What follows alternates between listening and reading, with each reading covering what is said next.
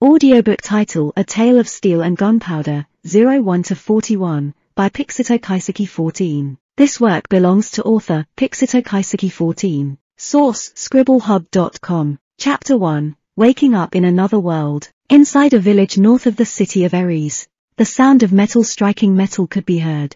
Inside a forge is someone you won't expect in a place like a blacksmith's. A little girl, probably not older than seven years old, is hammering away at a steel ingot she just heated up. This girl is no ordinary girl, though. She can lift the heavy hammer because she has been blessed by the god of strength. At least, that's what the church said. Nira sighed as she took a break from hammering the steel ingot. After which, she placed the ingot back into the furnace so that she could make it malleable to shape it once again. She knew inside that what she is making is near impossible with the current tools she has available, but she is still trying to bend the ingot into a barrel. With the help of a steel rod, she managed to whack the metal into shape and then breathe a sigh of relief afterwards. She quenched the newly made barrel in cold water before slowly grabbing it. In this world, the word barrel means a container for something, but not a mirror. This piece of steel tubing means something very different. This should be good, not perfect, but this is something I can work with. At least that is one piece completed, she thought to herself. She then placed the newly forged barrel in a hidden drawer. She then extinguished the fires that kept the furnace running and went to clean herself. Afterwards, she changed into a nightgown and went to bed beside her sleeping little sister, Nira. That was the name her parents, Mabel and Marcus Augustine, gave her. Nira still remembered how she got into this world. After a tiring day as a professional gunsmith, Theodore wanted to sleep. He closed his eyes and opened them after what he thought was a few hours earlier. He was welcomed by the sight of a wooden roof. He noticed that he could not move his body, no matter how many times he tried to do so. Glancing to the side, he spots what could be described as a baby. He then noticed wooden walls that surrounded him, and it didn't take a detective to connect all the dots. He was reborn. Theodore wondered if he had died in his previous life, but he shook those thoughts the moment he heard the door to the room open. Two adults, one male and one female, came into her view. The male picked up the baby that was beside her, and the female picked him up. Our daughters are so adorable, the male said while gently cuddling what he assumes is his sister. But wait, daughters. Does this mean that he was reborn as a girl? This left him in a small shock. Well, getting reborn has a 50-50th chance of giving you your desired gender, so Theodore discarded her shock and focused on the scene that is happening to her now. Dear, it's morning. It's time to open up the shop. Her mother said as her father nodded and gently placed her sibling inside the crib Theodore had founded himself in. But Theodore was left curious, though. What kind of shop were they talking about? She asked herself inside her head. So to try and get them to take her to their shop, she made little baby noises and movements to try and get her parents to take her there. Her mother did not get the message, though, and she giggled. Oh Nira, such a lively baby as ever. You'll tire yourself out if you keep moving like that. She said, just like she said, Theodore, no, Nira felt her eyes. Feeling like weights that wanted to close her eyes. Soon after she did so, she went to sleep as her mother hummed a lullaby. 63. Chapter 2. The Life of a Blacksmith. Another day has arrived, and Nira woke up to the smell of fresh bread and cheese. She noticed that her sister had already woken up and left the room. It was understandable since she had spent all night working to get the barrel she forged straight and without any rough surfaces. So, scratching her eyes while yawning, she stepped out of the bed and walked towards the bathroom. Inside, she took a good look at her facial features, red eyes with black, messy hair and a cute face befitting a seven-year-old.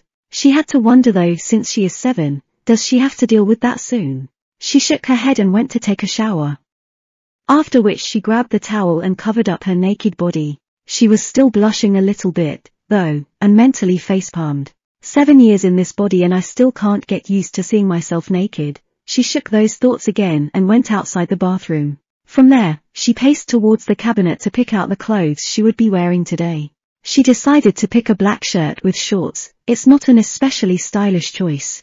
It was because it could get really hot while the furnace was running inside the forge. Stepping out of her and her sister's room and going downstairs, she found herself in the kitchen and noticed that her mother and sister were also with her. Her sister was eating the food while her mother was busy cooking.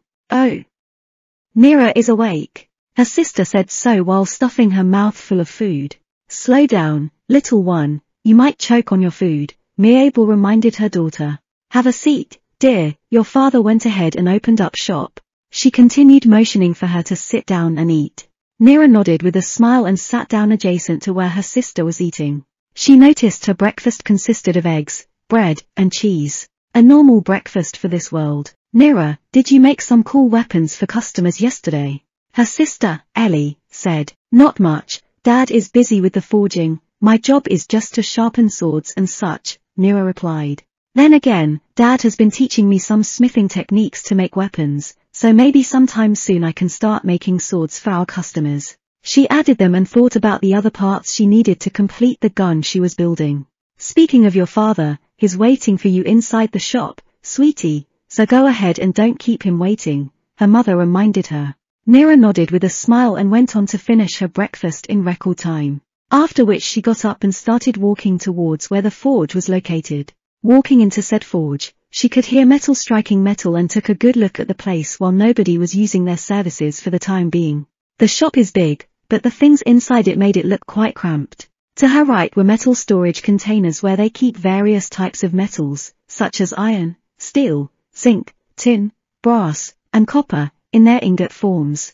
To the left is the furnace, where they melt down the ingots and cast them into different shapes according to the requirements of the customer. A second, smaller furnace can be seen beside it, currently turned on. It's used to heat up the ingots so that they can be malleable and easy to bend using an anvil and a hammer. Beside the storages where they keep the ingots is the quenching station, where they dip different types of swords, specifically steel and iron swords, into oil or water so they can be stronger. Next to that is the grinder wheel, where dull swords can be sharpened using a rotating wheel. In the center are two anvils, one of which is being used by her dad as he hammers away at a heated piece of steel. North of all of that is the counter where customers can order and buy swords or other tools that are forged by her father. Behind the counter is, of course, an assortment of different kinds of swords, from short swords to long swords to rapiers to daggers, and, of course, different tools that are required for specific tasks, such as shovels, hoes, axes, and pickaxes. Near the doorway to the entrance of the forge is the cabinet and crafting bench where she was seen last night making a gun barrel. Her father stopped hammering the ingot for a second and took a look at his daughter. Good morning, Nira. He greeted her, saying, we need to get ready for the morning rush. Tons of adventurers and guards would want their weapons sharpened and ready for anything. He motioned for her to man the counter and grind wheel. Nira sighed and nodded.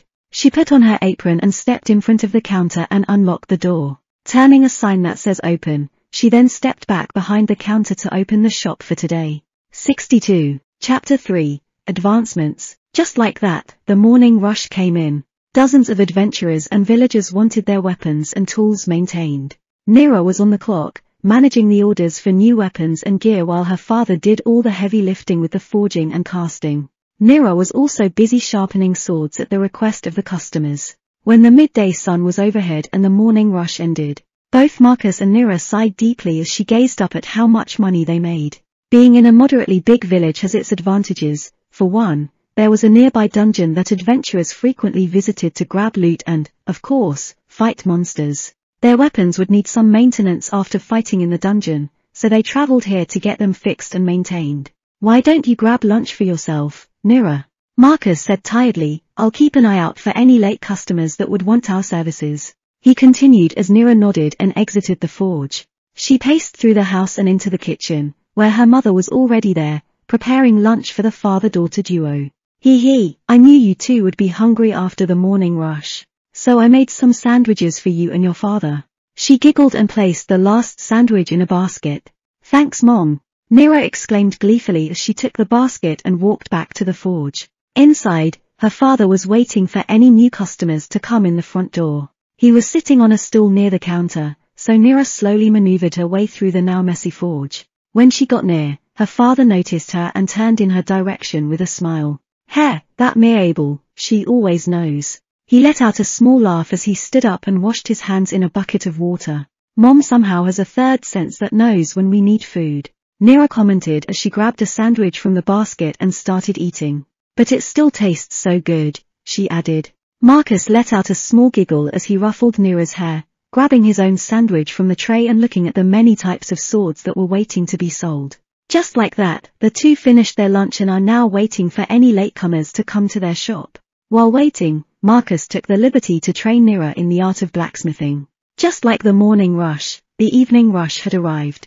Again, dozens of adventurers and villagers wanted to get their tools and weapons maintained. So Nira and Marcus kicked it up a notch and went to their respective jobs like earlier.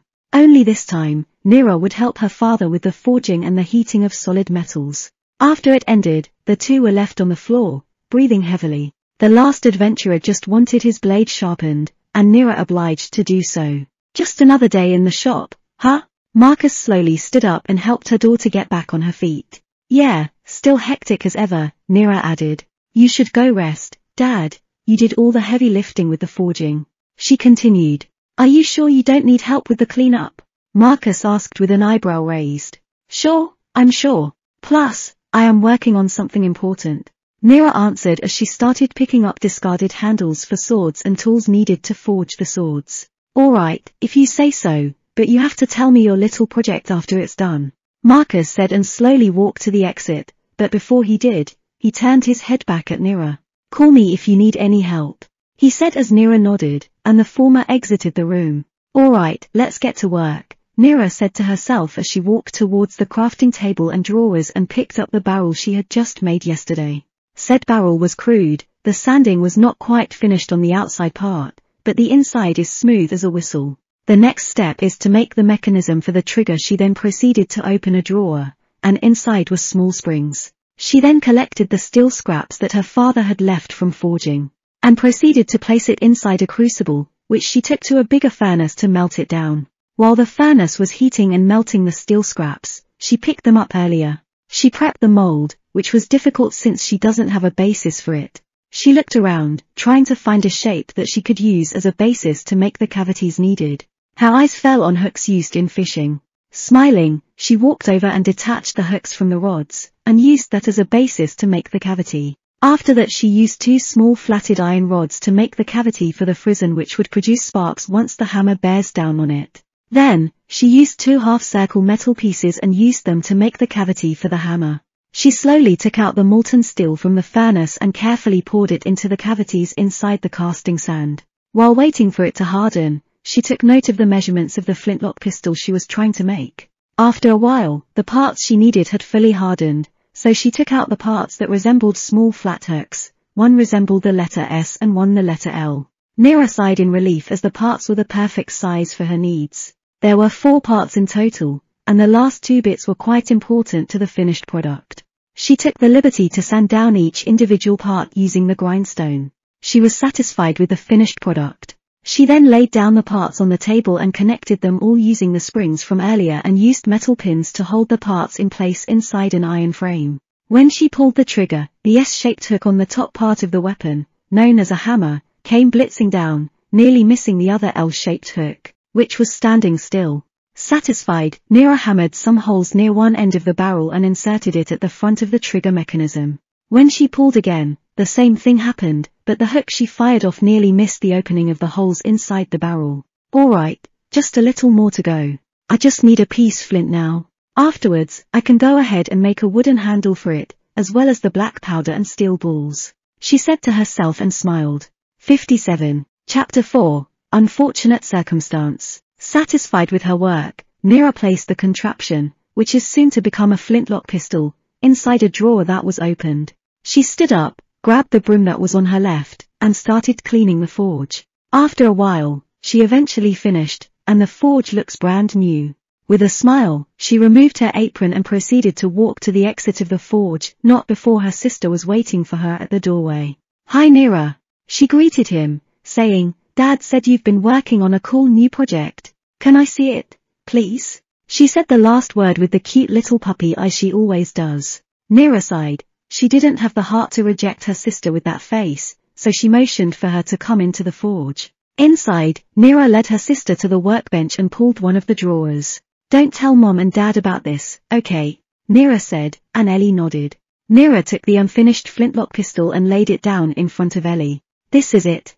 Nira said as she gazed at her sister's reaction. Ellie had stars in her eyes as she looked at the unfinished firearm. Woho, what is it? And what does it do? Ellie looked at her sister for a reply. That's a secret until I manage to finish it, so while it's not done, don't tell mom and dad. Nira said while putting her pointing finger near her mouth in a signal to her to keep it a secret while she winked. Okay. Ellie gleefully said as Nira picked up the device and placed it back inside its drawer. It is getting late. Did mom and dad already go to bed? Nira and Ellie went to leave the forge as Nira closed the door behind them.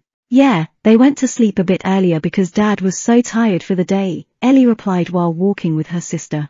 Then let's head to bed as well, Nira said, as she walked upstairs to their room. Before going to bed, the two sisters first washed their bodies in the bathroom and put on their sleeping clothes. Once done, they laid down on the bed.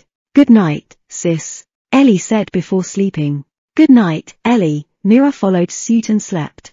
Nira wouldn't get the chance to go out with the remaining parts needed to finish her flintlock pistol because the following days were as busy as today was. Of course, their mother wouldn't want their seven-year-old daughters to go out on their own, so Nira would be a bit frustrated. Nira did plan to sneak out of the house once, but she feared she might get banned from working on her project if either her mother or father found out what she was doing. So she waited until she was the right age to go to the market and buy the remaining parts to complete her pistol. Every day, she would check on the condition of the parts to ensure that they would not rust or deform in any way. That proved to be a good choice, though, because one night, due to the heat and cold stress that expended and shrank the steel, the barrel she made was deformed and filled with cracks. She needed to fix it before she was able to fire the weapon for the first time. So she set about it once again. She heated a piece of steel inside the furnace and struck the orange hot steel with a hammer on the anvil until it was flat. She then used a steel rod that was already measured to the preferred dimensions to hammer the steel into the shape that she needed it to be. After it was done, she proceeded to heat it thoroughly and dunk it into a waiting container of oil to subsequently cool it. Doing this helped harden the steel so it could handle the explosion that would propel a projectile forward. After she sanded it thoroughly, she removed the old, cracked barrel and replaced it with the newly forged one. This barrel however has a thicker base so that it would stop any crack or deformity from happening. Satisfied, she placed the entire gun back inside its drawer and went on to sleep that night. Spoiler, Seven-year-old Nira Augustine. Seven-year-old Ellie Augustine. So I used an Denari to help you visualize what the two look like. I'll post another image when they become teens and adults adventurers so look out for that. As always thanks for reading. Also, for the smokeless powder. I have the basic gist of it but, it will not be fully accurate since companies keep the mixture top secret and the chemicals needed are pretty complex. But I will try my hardest to get it as close as possible to the actual in-world smokeless powder. Collapse. 49. Chapter 5. Growing Up. Nira, while waiting to be the right age to start buying the parts needed to finish her project, took the liberty to learn a few things under her mother's supervision. This happened every time they ran out of a certain metal, so the forge would be closed so that her father would go out and buy some from the local mine. Nira had learned about the currency system that uses copper, silver, and gold. A simple system that requires 100 of something less valuable to make it equate to one of the value of something more valuable. For example, 100 copper coins equaling 1 silver coin, 100 silver coins equaling 1 gold coin, and 100 gold coins for 1 platinum coin. The currency system was simple yet effective. At the tender age of 10, her mother told her stories. How a hero banished a demon lord to the depths of the underworld along with his army and nation, never to be seen again. How kingdoms rose and fell due to their own pride, and how even the purest of souls can be corrupted with demonic magic. Magic was something completely new to her. If you explained magic to someone from her own world, they would just laugh it off and call you a dunce. But in this world, magic is very real and very beautiful. She explained that magic uses different elements to form skills, but she couldn't dive into the subject further because she only knows basic information about it. Nira thought for a while. If elemental magic exists, then it would be possible for her to develop a skill that can help her mill steel, which in turn can make even bigger and better firearms. Her mother explained that gaining these skills would be incredibly hard. That is why only those who are truly dedicated to their work can gain and master these skills, and the reason why casters are so sought after by the kingdom she was living in. Nira knew that by learning magical skills, she could become a target for the kingdom. She shook her head, determined to learn the skills necessary to replicate steel milling. During her growth, she also felt pain on her chest, and every time she woke up from sleeping, she noticed that her breasts were growing slowly. But the problem was that she was only 12 at the time. Nira calculated that if they kept growing at the same pace they are now, they would make her too top-heavy by the time she was old enough to set off to become an adventurer. Nevertheless, she paid no more heed to it and hoped they stopped growing. On another note, she decided on becoming an adventurer after realizing that, in order to gain the skills and materials necessary to build more complex firearms, she would need to explore the world and discover new things for herself. Meanwhile, Ellie had also been learning how to craft swords, but unlike Nira, Ellie had been studying how to use it in secret. Only her father and mother knew that she was training on how to use the blade. They were hesitant of course, letting a 14-year-old girl start sword training, but Ellie's persistence was soon rewarded with the training she wanted. Her main reason as to why she wanted to learn to use the sword, so that one day she could protect her twin sister when they eventually join the Adventurers Guild. Years have passed, and she is now 16 years old. She was finally old enough to start going to the market on her own, and the chance finally came to finish her project. Her mom gave her a list of what to buy, but she asked for a bit more money so that she could finish her long-awaited project. Her mother agreed, and she set off with two silver coins and 26 bronze coins. The village got a massive number of citizens during its time, so much so that in just a few years, the small town became a small city, complete with its outer walls, guards, and market. The primary reason for this is the nearby dungeon, which provided the village with all of its goods to sell to other cities. Arriving at the market, she first had to get the important things her mother assigned to her on the list, and after a while she carried a couple of bags. The money she was left with was one silver coin and 42 bronze coins. Luckily for her, there was a shop selling flint for two bronze coins. She only needed one, but she ultimately bought six of them. Arriving at home, she sat down the things her mom asked her to buy and immediately ran towards the forge. Sitting on the crafting table and grabbing the unfinished flintlock pistol from the drawer, she measured the flint and found the right measurements for it to be able to fit on the hammer. Once she hammered some pieces of it, she gently attached it to the hammer and locked it in by folding the metal from the sides into it and pinning it to the hammer. After it was done, Nira was confident it would spark, so she pulled the trigger. She was correct though, Sparks flew onto the flash pan where a small amount of gunpowder would have been on it waiting for the sparks. Once it get lit, the ensuring fire would travel inside the barrel by means of a flash hole, a hole that directly leads to the bottom of the barrel. Now that everything is in place she just need the ammunition now. The only problem is, where can I find gunpowder? Spoiler, 14-year-old Nira Augustine, 14-year-old Ellie Augustine, Collapse, 49, Chapter 6, The Search for Black Powder. Her satisfied smile turned into a frown of frustration. How come she didn't plan on this sooner? Gunpowder is a big part of what makes firearms work. She needs to find a source for it now, or the work she had put into making the flintlock would all go to waste. She sighed and got off the chair. She then left the smith to go grab her cloak, which she wears when going to the market. She does this because every time she goes there, her body gets assaulted by stares from both men and women alike. Her body was getting more mature, with all the curves a woman would dream of, along with bountiful chests that sometimes offset her balance. Nevertheless, she is dead set on finding a source of gunpowder for her weapons. Nira, where are you going? A voice behind her said turning around, Nira saw Ellie, who was staring at her with her head to the side. Ellie has also begun to mature, like Nira, Ellie has also made the transition from a little girl into a petite woman. Though her chests aren't the same size as her twins. She had ruby red eyes, the same as Nira. The only difference between the two is that Nira has long hair tied into a ponytail that reaches her thighs, while Ellie has shorter hair that goes down to her neck. I'm just going to the market again to get more materials to finish my project. Nira replied, turning her body towards Ellie. Can I come along? Mom already said I could. Ellie spoke while stepping forward to put on her shoes. Nira nodded and replied, I don't see why not. The two spent two hours roaming around the market trying to look for gunpowder, but true to Nira's fears, they couldn't find any. What are we looking for, Nira? It's been two hours, and we still haven't found what we're searching for. Ellie sat down on the edge of the fountain in the middle of the plaza. You'll know when you see it, it looks like black powder, replied Nira, sitting beside her. Maybe it's sold in a different city, Ellie advised.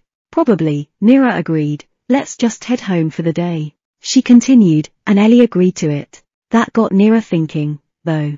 Of course gunpowder would not be available on the market since none of the guards poses any kind of firearm. It could be that the nobles are hoarding it, But I highly doubt that would be the case since the gossips don't even mention the explosive powder once. Once they were out of the market area, Nira heard two men talking to each other on the side of the main road. Hey, are you heading out? said one of the men. Yep, heading to Ares tomorrow. What's wrong? He replied. I'd postpone it if I were you, the first man said with a serious expression. Why? The weather looks good, plus there are no bandit sightings on the route to Ares. The second man looked puzzled as to why his friend was worried. The first man sighed and looked at him. You idiot, do you wonder why there are no bandit sightings? Why? Doomslimes had been spotted in the area. The first man said, to which the second guy seemed shocked. You mean the slimes that blow up? The first guy looks kind of irritated, so he hits the second guy lightly with his hand. Why do you think they're called doomslimes? Idiot the first guy said, as he sighed at his friend being dumb again. Yeah, I think I'll postpone the ride to Ares for a few days, said the second man with a sad expression. Nira, on the other hand, was absolutely ecstatic. These slimes could be the basis from which she could make gunpowder. If she were able to get a sample of the slime, she could try using it in place of the charcoal, sulfur, and nitrate solution found in gunpowder. Or maybe the slime itself has those compounds, and she just has to turn it into powder form. Nira smiled like a kid who had just gotten their mom to buy them a shiny new toy. So Nira and Ellie rushed to their house. Ellie, though, was a bit confused as to why her twin sister was full of energy all of a sudden. After they arrived home, Nira took off her cloak and sat down on a chair. Her sister excused herself because their dad called her when they arrived. Nira, now sitting alone, thought of a plan to procure a sample of those doomslimes. Well, the obvious way is to register as an adventurer and take an extermination quest to kill the slime, but that would be dangerous only because Nira, in her past life, was only taught how to use any kind of gun. Not close quarters fighting with a sword. Then it hit her, why not just pay the guild to set up a Doom Slime extermination quest? And have adventurers do the task for her. Of course, she would have to provide the rewards for the adventurers as well as pay the guild for their services. But that is better than going out there herself without a gun to defend. So she grabbed her pouch, where she saved up 40 silver coins from her monthly allowance. She then donned her cloak once more while she put on her shoes. I knew saving this much money would come in handy one day. Nira smiled to herself and went ahead to walk to the Adventurers Guild. 47. Chapter 7. Enlisting the Guild's Help. This is Nira's first time visiting the Guild, so during her walk she asked some people for directions. The once dirt road turned to stone as she neared the Guild. According to the people who gave her directions, the Guild is a huge stone building near the City Hall. She'll definitely not miss it with a landmark like that. When she arrived at the Guild, she was very impressed by the architecture. Two stone pillars with what looked like blue gemstones at the top of each pillar guarded two large wooden doors that were made of wood with iron reinforcement. The walls looked like cobblestone from the outside, and they led to an enormous roof complete with roof tiles and huge windows that illuminated an office inside. She presumed that office would belong to the guild master of this branch of the guild. Wooden support beams can also be seen on the four corners of the buildings to help them cope with the weight of the roof. The building itself looked like it had multiple floors, and judging by its size, it looked like it had three floors to work with. Opening the huge doors that led inside, she was greeted by the smell of beer and food. Inside, different adventures could be seen eating, drinking, and overall having a good time while guild maids go around and serve people their food and drinks. To the left is a board where multiple papers are pinned. Nira assumed this is where they choose which quest they are willing to take. Adjacent to that is the front desk, where all the transactions are made, and next to that is the stairwell, which they could walk to reach the second floor. Next to the stairwell is a wooden door, which she just assumes is a utility room for storing cleaning supplies. The adventures inside paid no heed to her as she walked towards the front desk. Waiting for her is a guild maid with long blonde hair tied into a bun. Welcome to the Redfield Guild. How can I help you? She greeted me with a friendly smile. I'm here to file for a quest. Nira said, taking off the hood of her cloak. Oh, and what kind of quest do you like? She asked, still with that friendly smile. It's an extermination and drop gathering quest for Doomslimes, Nira replied, and the guildmaid nodded. The guildmaid then took out a piece of parchment and grabbed a quill. She then started filling in the spaces provided, such as the type of monster to be killed. What material do you need from the Doomslimes? She asked, peeking at her head from the desk she was writing on. Um, what do they drop? Nira asked as the barmaid thought for a second. They drop two things, their magic core and Doomslime extracts, which we call debris. She answered, snapping her gaze back at Nira. Why is it called debris? Nira asked about it. Well, it's called that way because mags and alchemists can't come up with something that could use it. It doesn't do much but poisons the ground around where the slime dies. She explained, to which Nira nodded. Okay, then can you please collect that? Nira asked, but the barmaid turned skeptic. Are you sure? The debris doesn't even fetch a single copper coin on the market. What are you planning to use it for? She asked, and Nira answered. It's so I can finish a project of mine. She scribbled on the parchment, taking notes, and looked back at Nira. How many would you need? Nira thought for a second and came up with an answer. I'll need ten bottles of it, Nira said. The guild maid nodded and wrote down the amount needed to finish the quest. Once done, she placed the parchment on the desk and faced Nira again. Alright, then, that'll be 27 silver coins, she said. With the guild service fee and the quest rewards added in, she continued. Isn't that a little expensive? Nira was perplexed as to why it was a bit on the expensive side. Doomslimes are a Class C monster. Their explosions could cause devastating damage if one is as close as 5 meters away from them, which is why archers and mages are the usual ones to take on these kinds of quests. She explained. Nira nodded in understanding and reached for her pouch. She took out exactly 27 silver coins and gave them to the guild maid. The latter accepted it and put a stamp on the parchment she was writing on. Please check in tomorrow to see if the quest was a success, and thank you for using our services. The guild maid spoke as she smiled happily. I'll go back tomorrow then, Nira said as the guild maid nodded. With that, Nira's business was finished, and she put the hood of her cloak over her head and turned around to the entrance of the guild. When she exited the building, the guild maid sighed as she paced outside of the front desk and pinned the extermination and drop collection quests on the board. What a pretty young lady she was, she remarked about Nira silently as she went back to man her post. As the day went on, a party of four adventurers took a look at the quest board, deciding which one they should go for. Hem, which one? The brown-haired man, though, he wore a green shirt, black pants, and a leather belt with a steel sword on his waist. Hey Eric, how about this one? He turned to the muscular man beside him, who was wearing heavy armor. He wore a huge phalanx shield behind him and a smaller sword at his waist. I don't think so, Gareth. Firewolf territory is a bit far from here. Eric explained as Gareth nodded.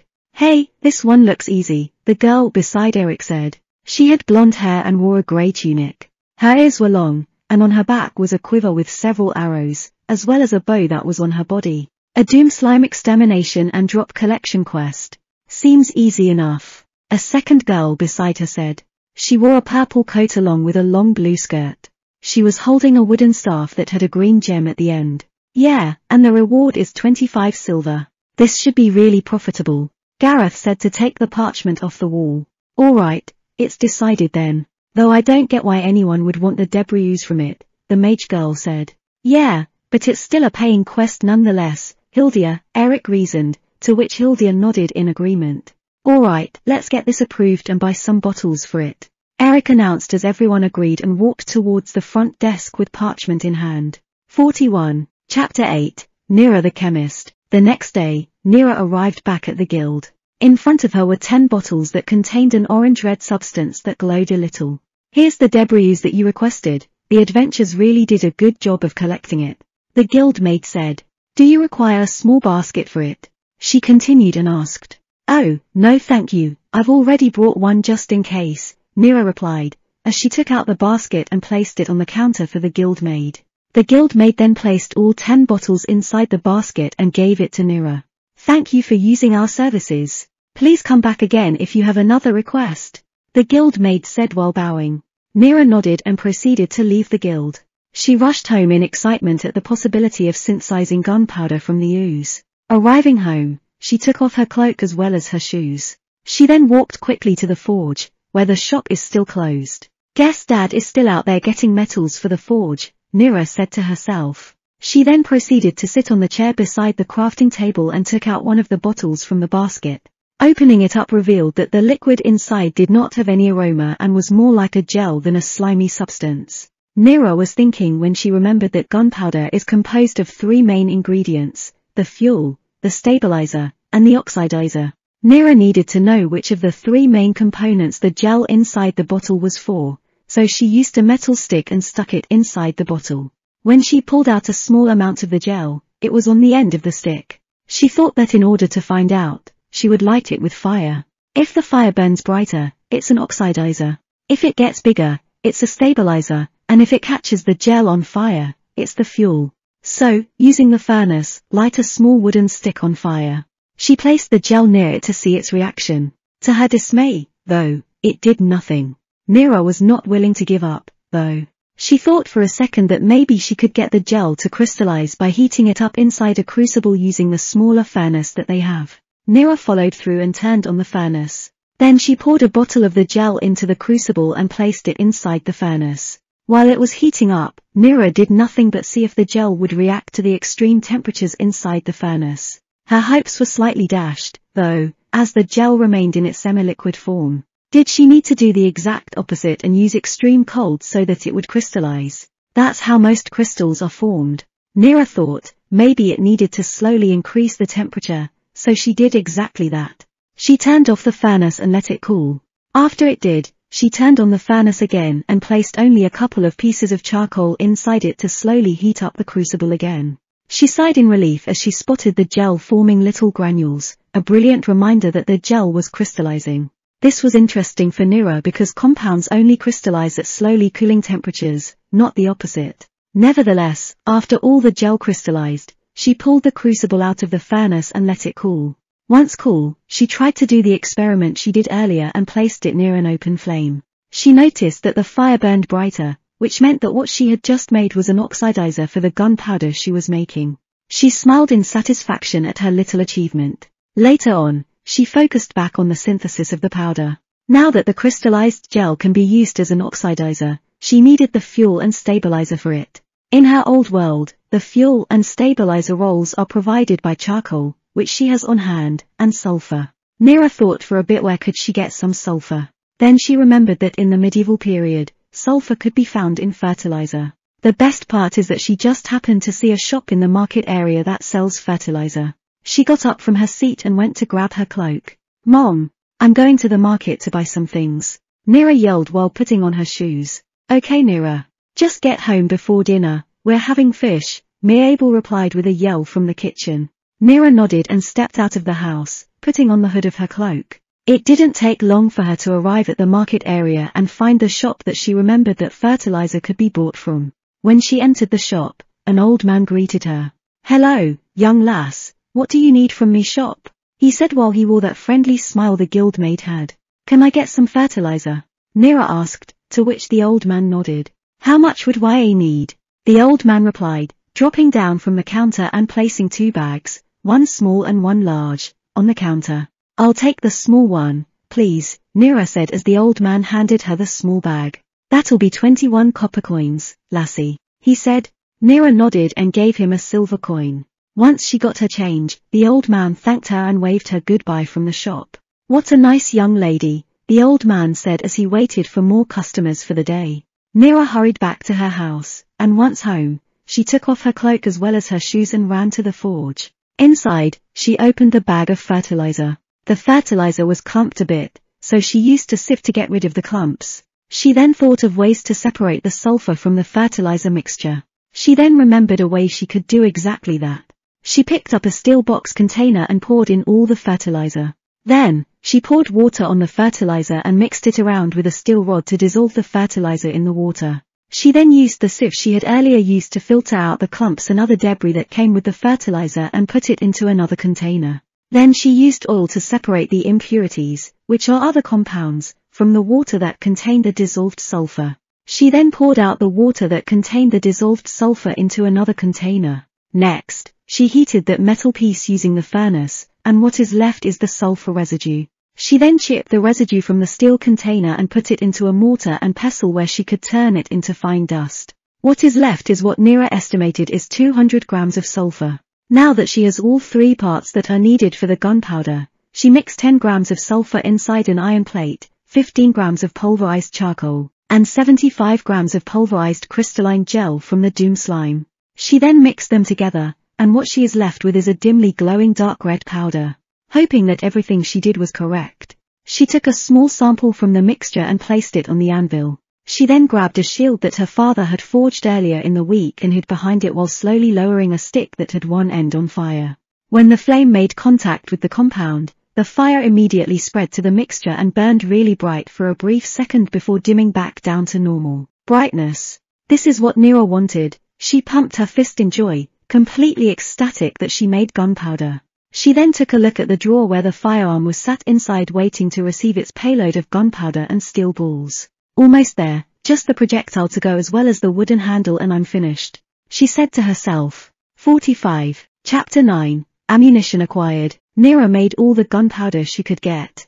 Then, she placed it all inside a steel container, which was inside another steel container that was holding a bit of water. The water will prevent the gunpowder from ever igniting from the heat inside the forge. She needed to be extra careful, or else any stray heat or spark could make it explode causing damage to her father's forge. Next, she placed a steel sheet on top so it would cover it and placed the container in a drawer underneath the crafting table. To complete the flintlock pistol, Neera only needed the projectile. She assumed she would just use steel balls, but when she thought about it, there could be monsters more dangerous than a guy with a gun back in her old world. That is why she needed to maximize the damage output of each firearm she makes to cope with monsters. The only way to do that is by using lead as her projectile. The problem is that lead is very dangerous. Inhaling the dust of the stuff would mean lead poisoning, and Neera paced around the room, thinking for a solution. Maybe she could harvest some from the ground by digging up dirt and separating the rocks from the actual lead. No, that would be a waste of time since it would lead to little yield. Then she thought of going down a mine herself to mine it, but without a respirator, that is a death sentence. Her solution came at an opportune time. Neera, I'm back. Marcus yelled, which snapped Neera out of her thoughts as her dad dragged a sack into the forge. Dad! Welcome back! She greeted her father as she helped him drag the really heavy sack inside the forge. This feels heavier than last time, Neera said, wiping the sweat from her eyebrows. Oh! It must be the new metal I got from the mining guild, it cost me six silver each, he said, pulling out a silver bar. Isn't that a little expensive for an ingot? Neera said. The person who sold it to me at the mining guild said that it took a lot to get this metal out of the ground and into ingot form. He said some even died from poisoning. While others thought this metal is haunted, he explained. Be careful not to let it fragment. The people said that it would be really bad if you inhaled the dust. He explained handing Neera the bar for her to hold. Neera couldn't believe her eyes, this was exactly what she wanted. She blinked two times just to be sure that the metal she was holding was indeed lead. Why are you so surprised, kiddo? Marcus commented on the face Neera was making. Neera snapped out of her shock and turned to face her dad. She gave back the lead ingot she was holding, and Marcus put it back in the sack. It's nothing, I just hoped it would be the right metal to finish my project. Why did you even get that kind of metal? Neera said. I wanted to see the kind of things I can craft with it, we can't let it fragment so it can't be used as a tool. I can't use it as a weapon either because it's too soft. Maybe I can cast it to make pipes to transport water around instead of using iron pipes. He explained placing the lead bar back into the sack. Neera realized that her father was going to be experimenting with the lead ingot, but she needed to ask permission now or she'd never get the chance. So she mustered up her courage and asked the big question. I mentioned earlier that I needed this metal to finish my project. So can I use an ingot to see if it is indeed the right one to use? Neera asked, nervous that her father might decline. Marcus smiled, happy that her daughter wanted to do the same thing as him and experiment with the new metal. Sure kiddo, just one bar, okay. I only have three, Marcus said, smiling. Neera wore the biggest smile on her face as she hugged her father. Marcus grabbed a bar of lead from the sack and handed it over to Neera. Don't let it fragment, alright? And most of all, don't inhale it the dust from it, he warned, to which Neera nodded. Oh, by the way, what's the name of this ingot? Neera asked as she gazed at the silvery ingot she was holding. Oh, the mining guild said it was lead. He answered. Neera then nodded, and the two went about their day in the blacksmith shop. At night, Neera was already hard at work making the lead balls for her flintlock pistol. First, she needed a mold. She couldn't use the usual casting setup that she had since it would require her to sand it afterwards, which would produce dust that would poison her. She looked around and found wood that is used to make sword handles, and then she got an idea. grabbing two pieces of wooden planks. She then took out her flintlock pistol and measured the bore, which is the diameter of the barrel, and took notes. Next, she slowly carved out two half circles on the wood she had and nailed down a hinge that lets the two pieces of wood close without a gap in the middle. Once she was sure that it closed tightly, she drilled a small hole in one of the parts of the mold she made. She checked again, and sure enough, it was ready for its first test run. She heated the piece of lead her father had and placed a lot of charcoal inside the furnace so that it would reach the optimal temperature where the lead would melt. When it was still melting, Nira set up a bucket on the ground and slowly took out the molten lead from the furnace. She then slowly poured it into the wooden mold she had made. The mold immediately started smoking. And after it settled, it looked solid. She opened the mold to be greeted by a shiny little ball of lead. Nira smiled in joy as she repeated the process over and over till she used up the entire ingot. She was left with 14 lead balls ready for her waiting flintlock. She then took out her flintlock pistol and measured the balls, which fit perfectly into the barrel. The she stored all of the balls inside a metal box and placed it near the drawer where the gunpowder is kept. Oh, I almost forgot that part, Nira said. While she grabbed a piece of steel, she heated it up and hammered it into a small rod. Then she grabbed another piece of wood and used the measurements from earlier to make a ramrod so that there would be no air left inside the barrel when it was reloaded. She then placed the housing for the ramrod underneath the barrel and left it there. I'll finish it up tomorrow with the wooden handle, then it's finally time to test it. She said this to herself while gazing at the firearm she was holding. 44. Chapter 10.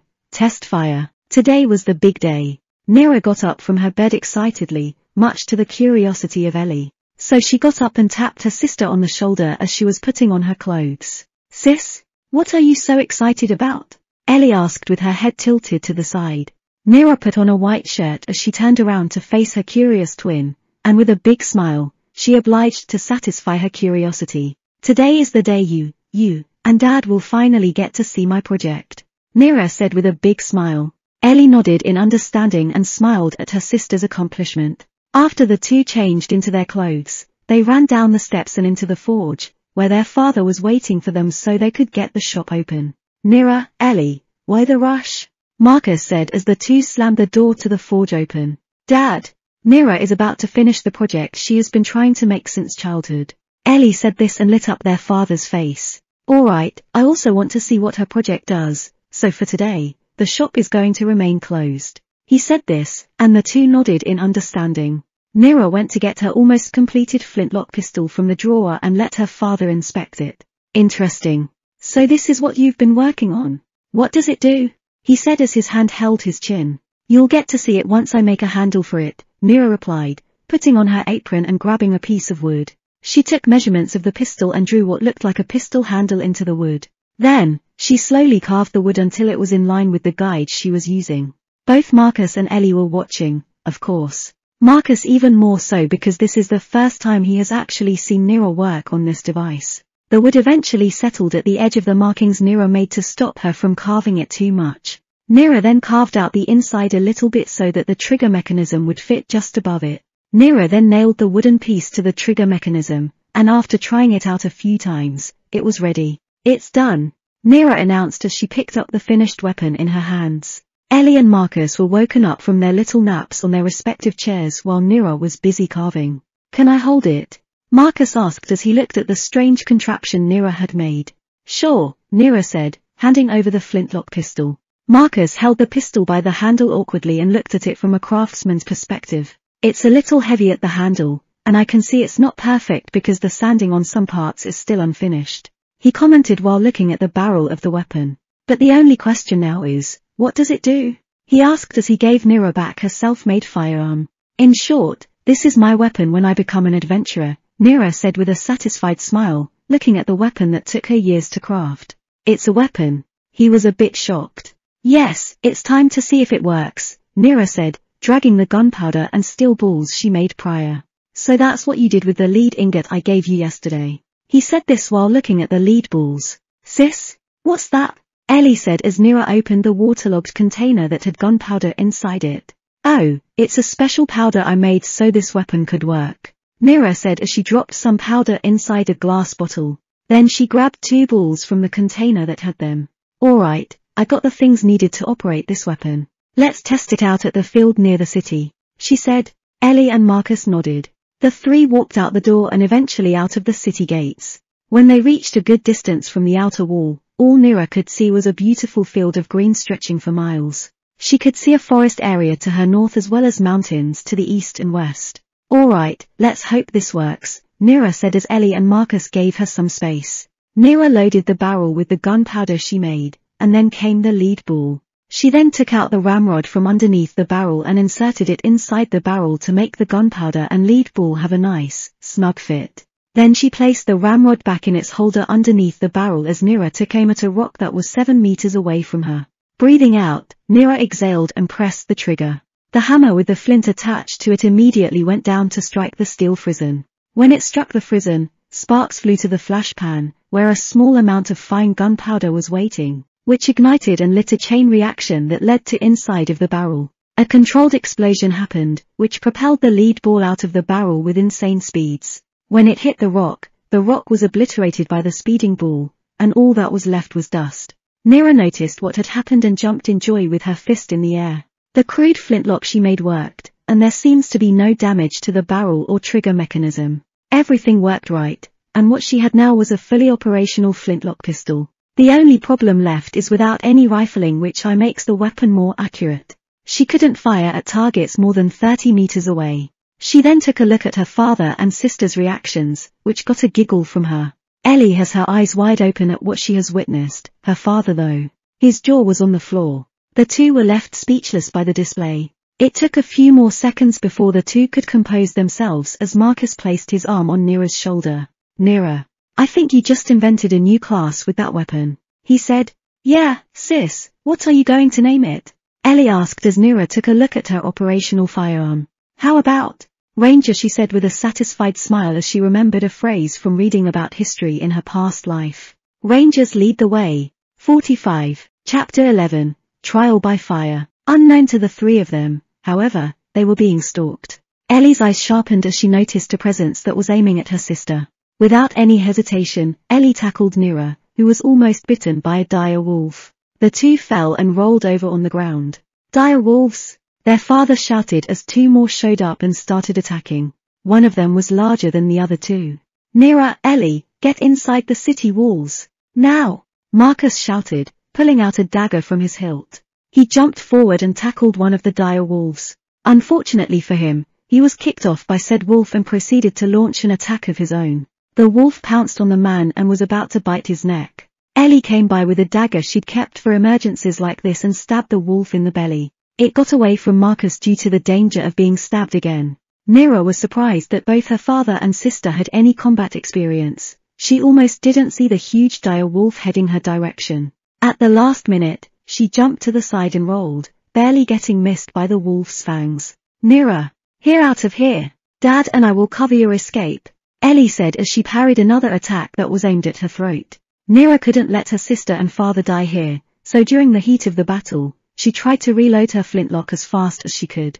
Key word is tried, she was too busy trying to reload that the bigger of the three wolves launched another attack at her. Again, she dove and rolled to safety, almost getting bit in the process. After she rolled away, Ellie countered with a stab to the creature's stomach, which forced it to pull out of the attack. If you two are willing to fight here, take out that big one. It'll send a message to the two that we're not worth the effort. Marcus shouted as he pounced on one of the wolves and sent a stab at its stomach and chest. He was tackled again before he was about to die. Ellie came and slashed at the creature's chest, making it jump off of Marcus. Buy me sometime, I think I can kill the big one. Nira said, then composed herself and grabbed the bottle that contained the gunpowder. The large wolf was again about to strike her before it was parried by Ellie. Marcus was also helping by parrying the other two's attacks that were aimed at her daughters. Nira skillfully managed to get the gunpowder inside the barrel as well as the steel ball. She also managed to ram it with the ramrod and cock the hammer. Once she was ready, she warned her sister to step aside. Ellie, get out of the way. Nira shouted, which Ellie heard and immediately dived and rolled to the left. The wolf was left confused by the action, not knowing the consequence of letting Nira reload. Nira had to make this shot count because this was her last lead ball she managed to carry. She pressed the trigger, and smoke bellowed out of the sides as the ball was propelled into the air and ended up hitting the wolf dead in the center, between the eyes. The giant wolf dropped dead on the ground, which the other two wolves noticed. Filled with injuries, stabs, and cuts, the two smaller dire wolves retreated and ran away. Ellie and Marcus immediately made a beeline for Nira, who was left kneeling on the ground due to the adrenaline in her blood slowly going away. The two checked for any injuries, which Nira sustained none of, and they soon left the area, with Marcus eventually carrying Nira. When they were back at their house or forge, Mabel was sickly worried about her husband and two daughters. They left without any warning, which prompted her to berate her husband for leaving without any notice. After the three recovered from their encounter, they reported the encounter to the guild and left out the part where Nira used her new weapon to one-shot kill the large, dire wolf. The guild was puzzled, they shouldn't be straying so close to a city like this, so they launched an expedition to the forest that was composed of C and D rank adventurers. Later that night, Nir checked on the condition of her weapon. Good thing she did too, because she noticed that the barrel was cracking, possibly due to the explosive power that the gunpowder she made produced, which explained why the rock she tested it on was reduced to dust. Nira took the liberty to forge a stronger barrel with a thicker base to withstand the explosion caused by the new improvised gunpowder she made. She managed to heat treat it again and insert the barrel back into the pistol. Nira noted the big problem with flintlock-style pistols and muskets, they reload too slowly. So, she devised a plan and started drawing the blueprints in her mind to make a single-action revolver. While Nira was busy forging a new barrel for her weapon, Ellie was hard at training once again, determined to learn more about sword fighting so that she could better protect her twin sister from the dangers that monsters can give them. She slashed the dummy using her custom-made sword, which her father made. It looked like a fusion between the Japanese katana and the famous long sword from Britain. With one slash, she managed to cut the dummy in two as she saw the silhouette of her sister working at the forge. She could see Nira hammering away at a piece of steel so she could make her firearm better. 49. Chapter 12, Signing Up. Even though Nira's weapon was complete, she would have to wait another two years to join the Adventurers Guild. During her time there, she learned advanced smithing techniques from her dad, and her mom taught her about the geography of the world. Nira also made slight adjustments to her flintlock, though adding a sight helped her aim better. With a post mounted at the end of the barrel, this helped her with aiming her firearm. During the two years, she also managed to make a musket. A longer version of her flintlock pistol, it helps her deal with longer-range targets while using the pistol as a close-range secondary weapon. The musket she wields has a longer barrel and a bigger wooden stock. The barrel was very hard to forge, though, so she used casting techniques to make it. Her mother also helped by making a leather sling to carry the musket around and a leather belt complete with a holster for her flintlock. The gunpowder vials used to fill her weapons with gunpowder are kept on the belt like a bandolier, and the lead balls used as projectiles are kept inside a small bag behind the belt. The bag itself is separated into two compartments, one side for the bigger lead balls used on her musket, and the other side is used as storage for the pistol's lead balls. In total, she has 10 balls in the bag, totaling 20. She also fashioned a bayonet at the end of her musket if all else failed and she was forced to fight hand-to-hand. She did have a small amount of bayonet training in her past life, but she thought it was best not to rely on it and use the musket from long range. Ellie also went ahead and forged her own blades. The katana longsword mix she had was replaced with a long, curved cavalry sword. She also had a sword breaker as her secondary weapon, with gaps between the blades where she could, essentially, break the sword of her opponent or disarm them with it. She also took the liberty to wear basic leather armor, while Nira preferred mobility since she will be taking out targets from a distance while Ellie would be her vanguard, not letting enemies stray too close to Nira. Today was the big day for Nira and her sister. Now, at the age of 18, the two are finally qualified to register as adventurers. Nira and Ellie headed out to the Adventure Guild, where they would register. When they arrived inside, they were being stared at by some adventurers. Particularly Nira with her strange weapon. The two walked to the front desk, where a guild maid was waiting for them. Hello. Welcome to the Redfield Guild. She greeted him. How can I help you? She smiled. Hello, um, we would like to register for the guild. Nira spoke. The guild maid nodded and bent down. She then grabbed two parchments and started writing down some things on the desk in front of her. Once she was done, a minute or so later, she handed the parchments to the two. Please write down your basic information and your preferred class, after that, we can conduct the magical compatibility assessment. She said, The two wrote down their respective parchments using a quill provided at the side. Nira wrote her class as archer because there isn't any class that involves a firearm. After the two finished, they handed over the piece of parchment to the guild maid. She examined the papers and took glances at Nira and Ellie. Archer? But where's your bow? She asked Nira. Um, it's just that I use a different kind of bow, she says, motioning at the musket she was carrying. That doesn't look like a bow. The guild maid said. Um, it's more like a custom weapon I made. I can assure you it works, Nira explained. She nodded in understanding and entered the room behind her. Once she came back, she was carrying an expensive-looking case. Once at the front desk, facing the two, she pulled out a crystal ball that had ornate decorations at its base. Please place your hand on the ball so we may begin the assessment. She said, you go first, sis, I'll be right after you, Nira spoke, turning to her sister. Ellie nodded and walked past her sister, coming face to face with the crystal ball. This was the first time Nira would see magic in her past and current lives. Ellie hesitated a bit, but after looking back at her sister's face, she placed her hand on the ball. The ball flashed two colors, red and white. The guild maid nodded and scribbled some things on the piece of parchment Ellie had given her earlier. So the magic spells you are capable of casting are from fire and wind. She spoke out. You can take your hand off of it now. She added as Ellie obeyed and pulled her fingers away. When Ellie looked back at her sister, Nira was standing there with a proud smile and a thumbs up. This was returned with a warm smile from Ellie. Next please. The guildmaid spoke. Nira then stepped forward and placed her hand on the crystal ball, just like Ellie did.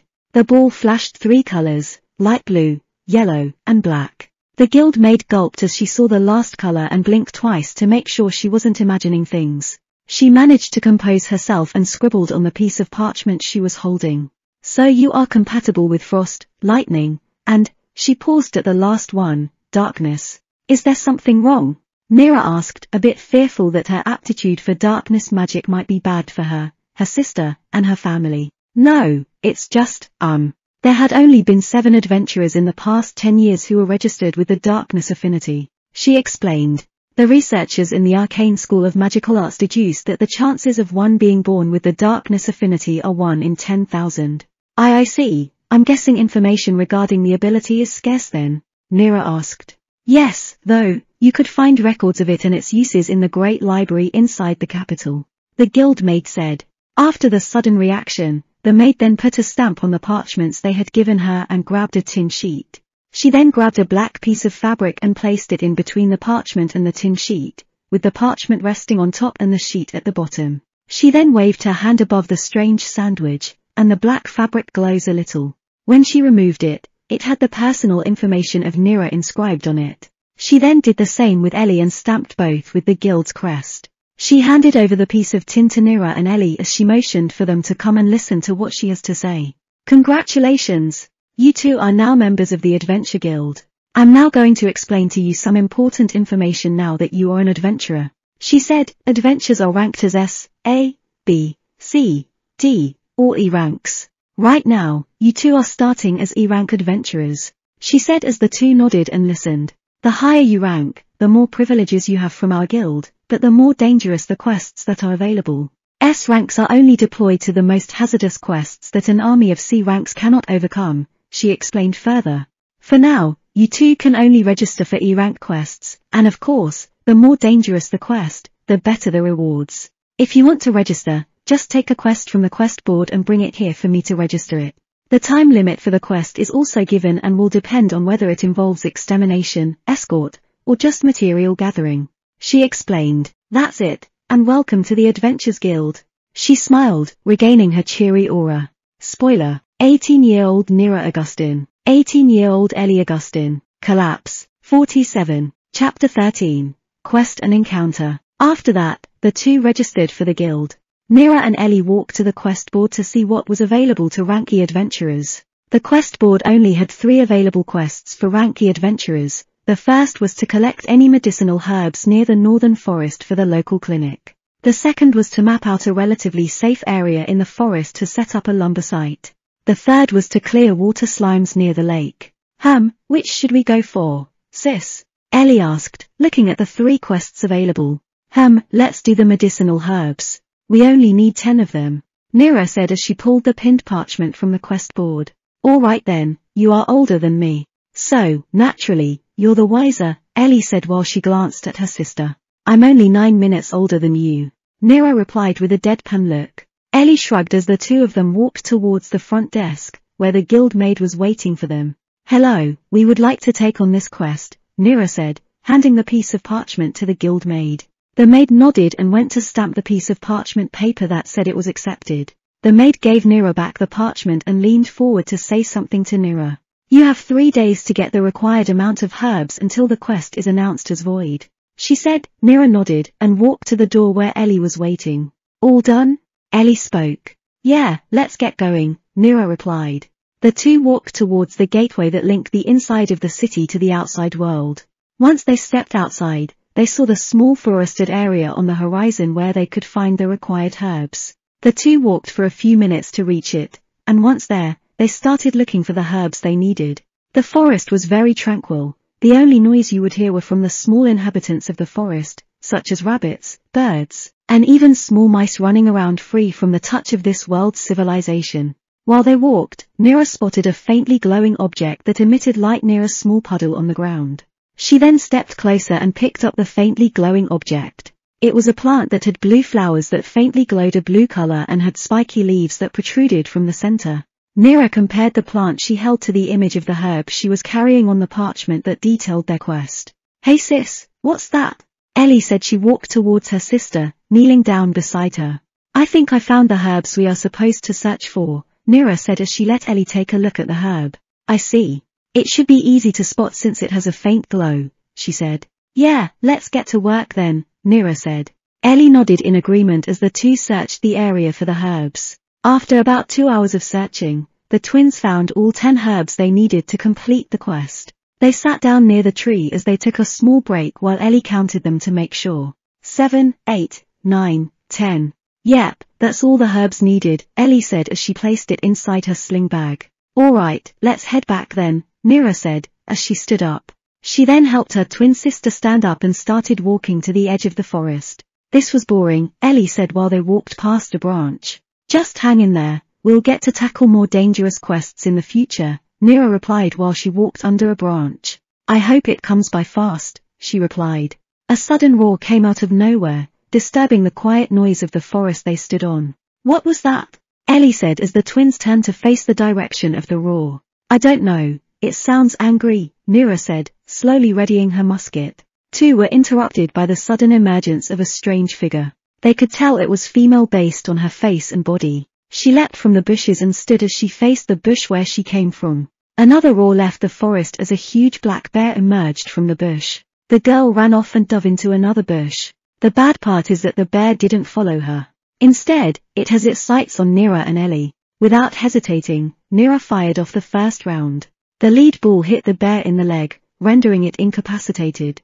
The bear roared in pain as it felt its leg pierced by the bullet. Nira looked at her sister and nodded. Ellie replied with a nod and dashed towards the bear, aiming to strike it down with a clean shash to the head. The bear managed to recover at the last moment and met Ellie's blade with its large claws. The two exchanged blows as Nira loaded her firearm again. She first loaded it with gunpowder, then the lead ball, and then rammed it all with a long ramrod so it would be tight and snug inside.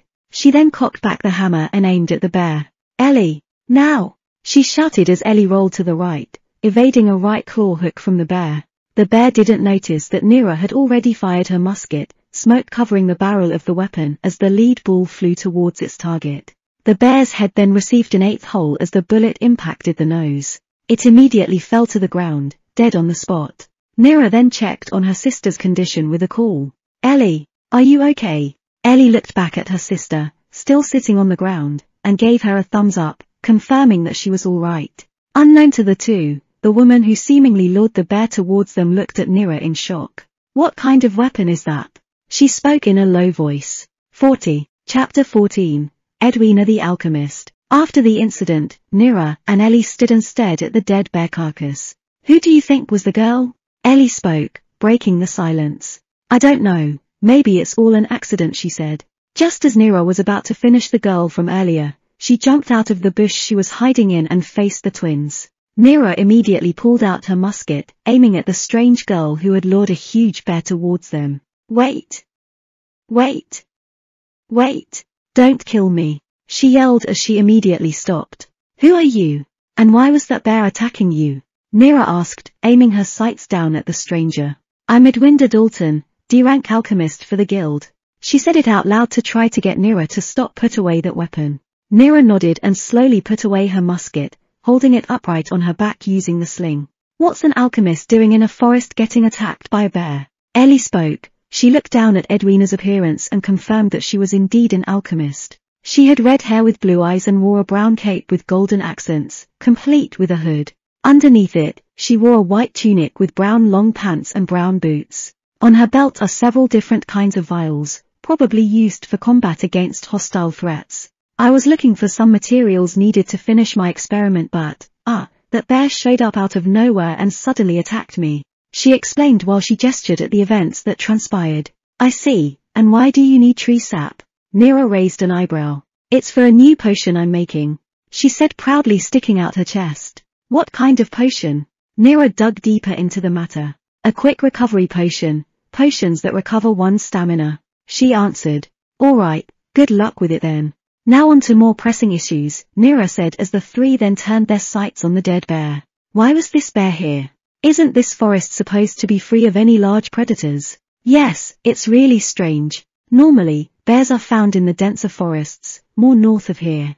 Edwina said as she kneeled down and inspected the carcass. Hey, look at these wounds. I'm sure my sword or her weapon couldn't have done this kind of damage, Ellie said as she pointed at the bear's back, which had strange claw marks. Edwina took a closer look at the wound. This wound isn't he fresh judging by the way it's trying to heal. It could have taken a week since this happened, she said and stood back up facing the twins. This is all very peculiar. Let's head back and report it to the guild. Nira recommended it, and they agreed. The group left the scene, slowly walking south towards the city of Redfield. Say, I never did get your names, Edwina said. I'm Ellie, Ellie said. Nira, Nira said. You two really look alike, are you twins? Edwina asked. No, Nira is older than me, Ellie said while she looked at her sister. By nine minutes, Nira added. Edwina let out a small giggle at Nira's reply and continued the walk to the edge of the forest. While walking, Edwina couldn't help but look at Nira. Specifically, the strange weapon she carried along with the strange vials she had that contained some kind of powder. Hey Nira, Edwina said, tapping Nira on the shoulder. Yes, Nira answered. What's that strange-looking powder inside the bottles you carry? She asked. Nira thought for a second before answering. It's for my weapon. Nira replied, to which Edwina was a bit confused. What does it do? She asked again. It's a secret, Nira replied with a little smirk. Edwina didn't dig any deeper on the composition and the uses of the strange powder Nira carried. She wanted a sample, but she already knew asking for one wouldn't help. Stealing is definitely out of the question. The two saved her life by killing that huge bear.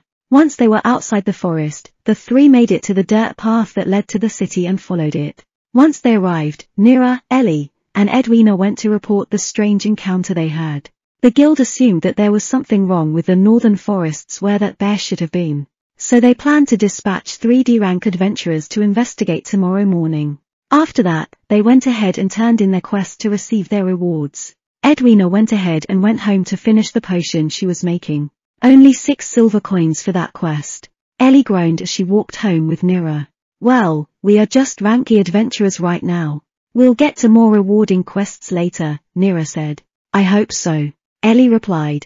42. Chapter 15. Connections. The next day, Nira was in her father's forge. She wondered how she would make some gun cartridges to be able to start crafting a pistol revolver. The major drawback of the weapons she was currently using was that it took ages just to reload a single shot. With a revolving pistol, she could load six shots and fire them off one at a time. The first step is to invent the cartridge. The cartridge is a type of ammunition that consists of the propellant, which in this case is gunpowder.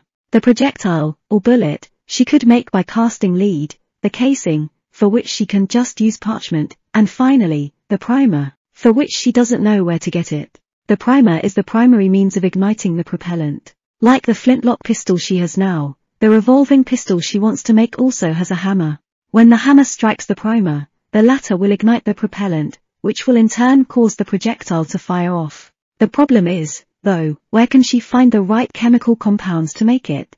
For its small size, the primer actually consisted of multiple layers of different compounds, compounds that she doesn't have access to, let alone produce. She paced around inside the forge in a circle, trying to find a solution to the primer problem. Then it hit her. Maybe there is some sort of magical monster drop that may help her. She remembered when she requested an extermination and drop collection quest from the guild. The guild mate said something about a magic core. Maybe that's where she'll get the answer to her primer problem. She then thought of Edwina from yesterday, who was an alchemist. Maybe she'll have some knowledge regarding magic cores. The problem is, where can she find her? She didn't know the location of her house, so this was going to be difficult. She decided that she would start at the guild and look for her from there. So she went out and encountered her sister, who had just come back from sword training.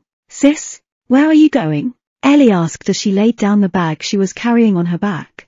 I need to find Edwina Nira replied. The alchemist from yesterday. What for? Ellie asked further. It's so I can improve my weapon, Nira replied blatantly. I see. Can I come along? I'll help you look for her. She said. Sure, it'll help with the search, Nira replied. The two went ahead and made their first stop. Inside the Redfield Guild, there were a lot of people who needed the guild services, and lucky for them, Edwina was one of them. She was currently lined up, probably to complete a quest. The twins approached her and tapped her on the shoulder. Yes. Oh. Nira. Ellie. I was just waiting for my turn to redeem this quest.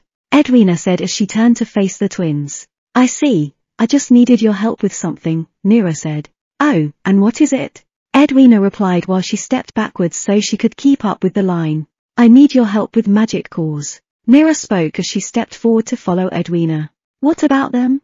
Edwina asked. Are there any magic cores that would ignite by hitting it hard enough? Nira asked. Edwina thought for a moment, recalling the magic cores she experimented with. Oh. I think the Doom Slime core does that. I know because I've hit one with a hammer once and a small fire started.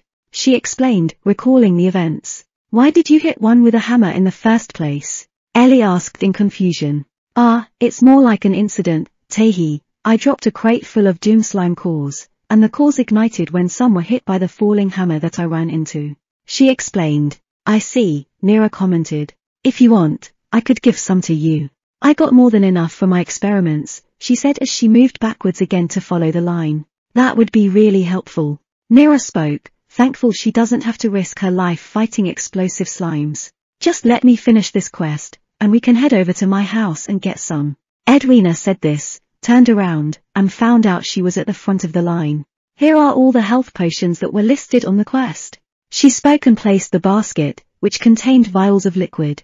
The guildmaid nodded, grabbed the quest request from Edwina, and put a stamp on it. Afterwards, she handed Edwina the rewards of 40 silver coins.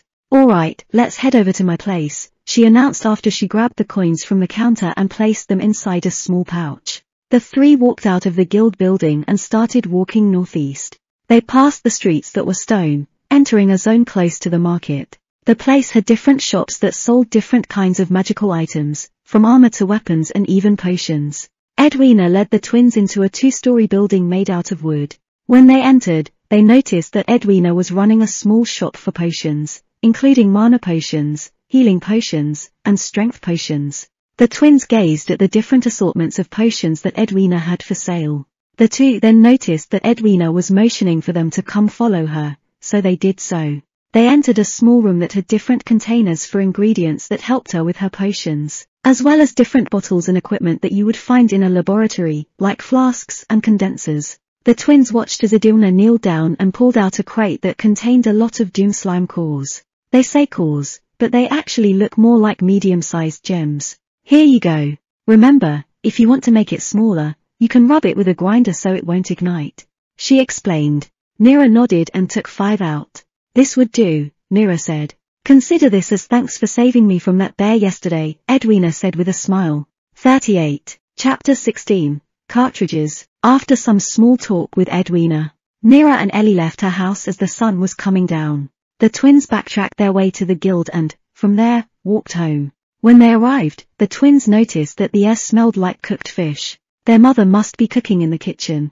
Ellie went ahead and went to the kitchen while Nira opened the doors to the forge. The forge was almost the same as she first saw it, the only issue is that without their dad, the forge is to remain closed for the day. Nevertheless, Nira still walked towards the crafting bench and placed the bag of doom slime cores on the table before her. She took a look at the gems and slowly walked towards the anvil to see how much of a reaction it would have if she struck the core with a hammer. So she set up a rope system that would drop the hammer onto the anvil without her getting too close to the core when it eventually combusted. Nira then placed the shield between her and the anvil and let go of the rope. When the hammer hit the core, flames suddenly burst out like a mini explosion. Not big enough to destroy the forge, but hot enough that it would ignite the gunpowder. The only problem now is that the cores are too big for them to fit into a cartridge. So, she remembered Edwina's recommendation and started sanding them down into a small disc shape. The finger-sized stone became a small disc.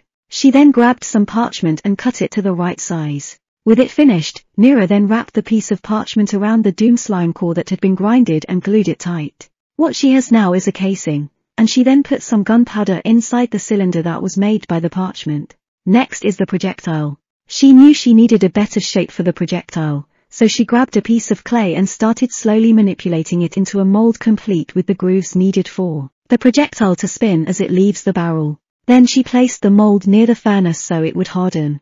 After it did so, she took it out and placed it on the anvil. Then she took out the molten lead and poured it into the mold she had made.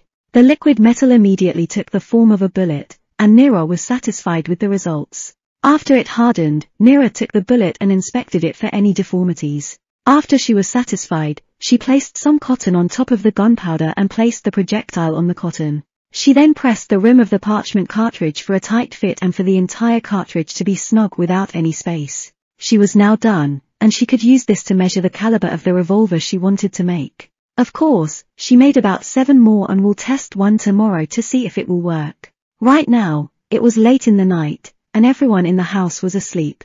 As Nira stepped into the kitchen, she noticed that her mom and sister had left her some food to eat after she was done with the upgrades to her weapon. Nira smiled as she sat down and started eating.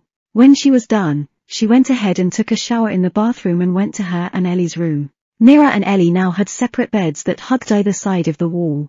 Nira's bed was to the right, so she moved over there and noticed that her sister was already asleep. She then patted her sister's hair and whispered, Thanks for saving me some. Ellie smiled as she finished her words, and Nira proceeded to sleep on her bed. She woke up the next morning and noticed that her sister was gone. She did work late into the night to finish the cartridge, so it was understandable. She fixed her hair, wore her clothes, and proceeded down the stairs to see that her mother was in the kitchen waiting for her while she did the dishes. Good morning, Nira, Mabel said as she was cleaning the plates. Good morning, Mom. Nira replied. Where's Ellie? She asked. In the forge, dear, she said something about making a better sword. Mabel replied, Okay, I'll go see her, Nira said, and she slowly walked towards the forge. After she opened the door, she noticed that her sister was hammering away at a piece of heated steel. She noticed that the steel was about to break because it was too cold and tried to warn her sister, but it was too late. The moment Ellie struck the steel again, it broke in two. No! That's the third time already, Ellie said in frustration. Hey Ellie, Nira said, announcing her presence to her sister. Oh, hey, sis, Ellie greeted back. What are you trying to make? Nira asked. Just a new sword, but the steel keeps breaking on me. Ellie replied. That's high carbon steel you're using. No wonder it broke. It was too cold. Nira said as she was inspecting the broken steel rod. Oh, I didn't notice till now, Ellie replied, defeated.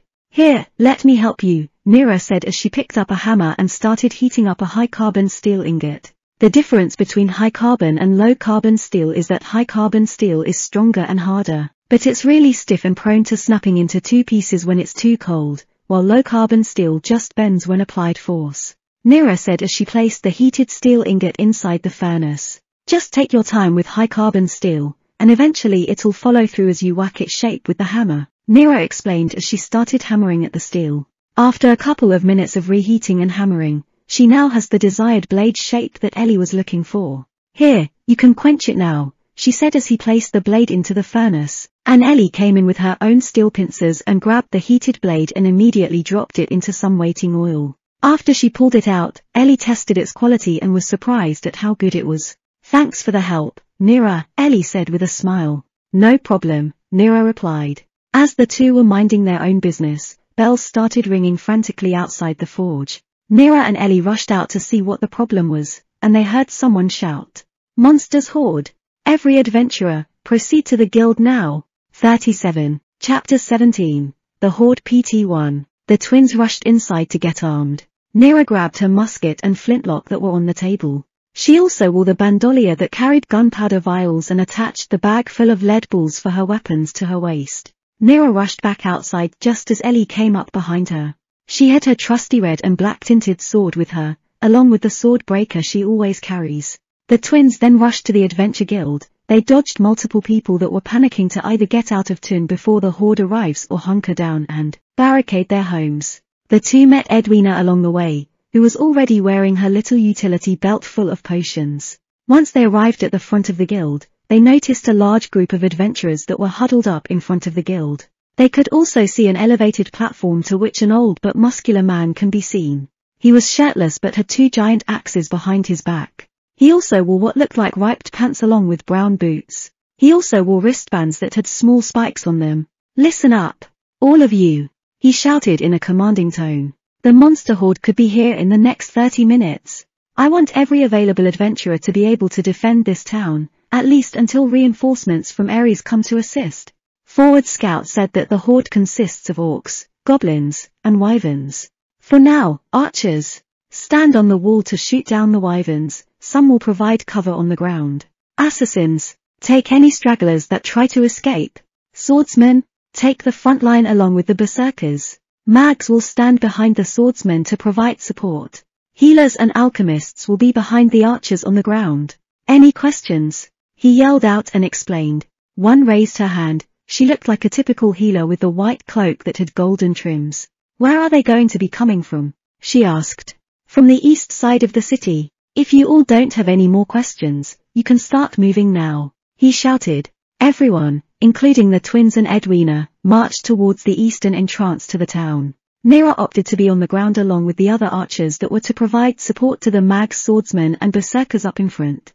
Nira took her position to protect Edwina. She also has a clear line of sight into the soon-to-be kill zone. She also had a short enough distance to provide Ellie with any kind of support if needed. This was bad timing though, this kind of battle requires a weapon that can be reloaded quickly, or have multiple shots loaded. For now she has to rely on the frontliners to protect her while she was reloading. TSK, you shouldn't be out here, girl. A person said beside her. Excuse me. Nira replied, turning to face an elf. Nira knew because of the pointed ears. The female elf had short blonde hair, her bangs covered her left eye, and she wore traditional archery clothes. A white shirt with a quiver behind her as well as a green cape that had a hood. You heard me, you don't even have a bow or quiver. Are you even an archer? She said with audible disgust in her voice. You should have stayed inside the walls along with that strange tube thing you have. She added. Their conversation was cut short by the thundering sound of hundreds of footsteps approaching their position. The swordsmen, berserkers, and mages already. Archers pulled back their bow with an arrow loaded along with the elf girl while still staring down at Nira. The berserkers charged in first, and with their broad swords and humongous strength, they easily ripped the first wave of goblins to shreds. But then the orcs came which halted the berserkers' slaughter because of their thick skin. The swordsmen and mages now come in as support and they helped each other by outmaneuvering or casting magic to bypass the thick skin armor that orcs possess. The archers on the wall started raining down arrows to weaken incoming waves by dulling their numbers down to be less of a burden at the front. Nira knew she still had some range over the archer, so she took aim with her musket at the target, the head of an orc. She estimated the range was about 90 to 100 meters and compensated notching her gun a bit to the left to account for the inaccuracy of her unrifled firearm. When she pressed the trigger, sparks flew into the waiting gunpowder on the flashpan as smoke billowed out of the flintlock mechanism, almost covering Nira in a thick reddened smoke. The lead ball that came out of it outmatched the speed of the arrows that were being flown around. The ball hit the orc straight in the eye as the elf that belittled her from earlier looked in shock. What was that? Did she kill that giant thing with one shot? That can't be possible. She thought while she stared at the corpse of the dead orc for a few seconds before she turned back to see Nira. The girl looked like she was a mage with the smoke clearing out, but they all knew she was fighting under the archer class. She stared at Nira wide-eyed and surprised as the latter grabbed a vial from her bandolier and poured its contents into her strange and dangerous weapon. You're right, I'm not an archer, she said as she loaded another lead ball into the barrel while she stared at the elf girl. I'm a ranger, Nira, with a complacent smile plastered on her face, used the ramrod on her musket. After it was done, she fired off another shot that was aimed at the goblin that was about to attack her sister. 38. Chapter 18. The Horde PT2. As the battle raged on, eventually everyone started to feel a bit tired. Wave after wave of enemies came to attack the town but got repelled immediately afterwards. Nira was down to her last three balls of ammunition for her musket. If she used them up now she would have to get closer to use her flintlock. The horde was still very capable, and everyone was getting pretty tired. Alchemist now moved in to replenish the strength of the front line as well as their archer protectors whilst waiting for the next wave to arrive. Edwina ran up to Nira, the latter was using her musket as an aid for her to stand up. Here, drink this, she said while she got a bottle filled with a dimly glowing green liquid. What's that? Nira asked as she grabbed the bottle and opened the cork. It's an energy restoration potion. It'll help replenish your energy Edwina then helped her up as Nira drank the potion. Nira noted the test was bitter, but nevertheless she felt more energized than she did a few seconds ago. She loaded another round into her musket and cocked the action. Listen up, the old muscular man from earlier shouted. The next one is the last wave, according to our scouts. Give it everything you got. He then went back to the front lines to await the last wave. Nira got ready and kneeled down beside Edwina. She aimed her musket at the direction where the final wave will come and she'll be damn sure she isn't going to waste the last three balls of ammunition left. She can see Ellie near her position, her blade was covered in blood along with the armor she was wearing.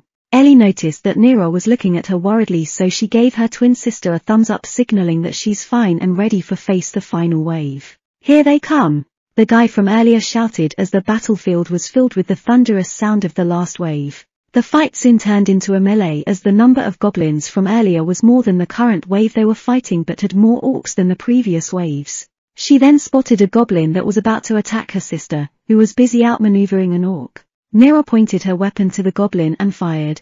She managed to hit it in the leg thanks to the inaccurate nature of non-rifled firearms. The goblin just limped towards her sister aiming to scratch her with its small claws. She tried to reload as fast as she could but the nature of flintlock firearms didn't allow her to load it in time. In the end, Ellie was able to see the goblin and maneuver herself to decapitate it with one sword swing at its head. Nira needed a firearm that can carry multiple shots of ammunition because the reload time of a musket was its biggest weakness. She was thinking for a brief period that she she didn't saw the goblin that was flanking her. Nira! She heard her sister shout as the goblin was able to lunge at her. She closed her eyes preparing to receive a blow but was surprised that she hadn't been injured. When she opened her eyes, the goblin was on the ground impaled by a spear. When she gazed at the position where Eth Sawyer could have come from, she saw a man wearing some heavy-looking armor. He didn't have a helmet so Nira was able to see his appearance. Short black hair with brown eyes. Judging by his looks, Nira thought that he must be a high-ranking knight due to the decorations on his armor. The man walked past Nira and retrieved his spear from the corpse of the dead goblin. He retrieved it with blood splattered on the ground near the dead goblin. Watch yourself, girl. He turned to Nira and gave her a stern look. T thanks. Nira said as she stood up from the ground as she grabbed her musket. Captain Phillips, thank the Lord you have arrived. The guild master from earlier said as he approached him. My knights will support the front lines. Let's push them back one last time knights from the gate of the town started pulling out into the battlefield. Within minutes, with help from knights, the adventurers managed to repel the last wave of monsters as assassins took out any stragglers that were still visible. Everyone cheered and raised their weapons high to signify victory. Captain Phillips though was staring at Nira, specifically her weapon. What an interesting piece of equipment. He thought as he remembered the shot she took at the goblin that was aiming at her sister. Nira was with Ellie, and the twins smiled in happiness as they noticed that neither of them were injured in the battle. That was amazing, sis, the way you killed some of them with just one shot was spectacular, Ellie said while she cleaned her sword from the blood before sheathing it into the scabbard on her waist. Yeah, but take a shower first after we get home, Nira commented to her sister, who was covered in monster blood. Yeah, yeah, I'll do it. Ellie replied while she rolled her eyes. The two was then caught by a slight tackle by their resident alchemist. That was a really good show, you two. That weapon, along with Nira, was so deadly, and Ellie, with her sword, tore into those orcs like a butcher, Edwina commented. Yeah, but this weapon needs more upgrades. Nira said while she held her flintlock in front of her. What's wrong with it? Edwina asked as she looked over Nira's shoulder. Nothing, it's just that Ellie and I almost got killed because I wasn't able to reload in time. Nira said. Don't worry, sis, we're still alive, and I'm sure you'll find a solution to that issue, Ellie said. Yeah, I do already have something in mind, Nira said with a smirk. 40. Chapter 19. Aftermath and Discussion. After the party over at the Adventurers Guild, everyone got awarded based on how much they killed, the type of monster they killed, and the aid they gave the frontliners. Nira was responsible for five orcs, 17 goblins, and, surprising enough, one wyvern. She managed to shoot one down when she saw it flying towards the wall to attack the town, so she was awarded 47 silver coins. Ellie was responsible for 10 orcs and 15 goblins and was awarded 54 silver coins, and Edwina received 50 silver coins for her aid with the frontline adventurers. On their way out, they were intercepted by the elf that had belittled Nira earlier for her strange weapon. Hey!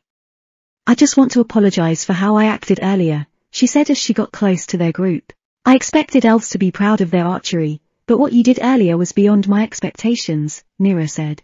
I know. I just want to apologize, since judging you by your weapon alone was unjust. She said, just keep that prideful nature of elves to a minimum, and I'll forgive you, Nira replied. Thank you, what's your name, by the way? She said, Nira, and yours? Nira replied. My Neriran, but you can call me Marie, she said. Alright, Marie, apology accepted, Nira announced as the elf sighed in relief. Say, how does your weapon work? Is it magic? Marie asked. Hey, I want to know too. Edwina jumped in, keen to know its secrets. No, it's not magic.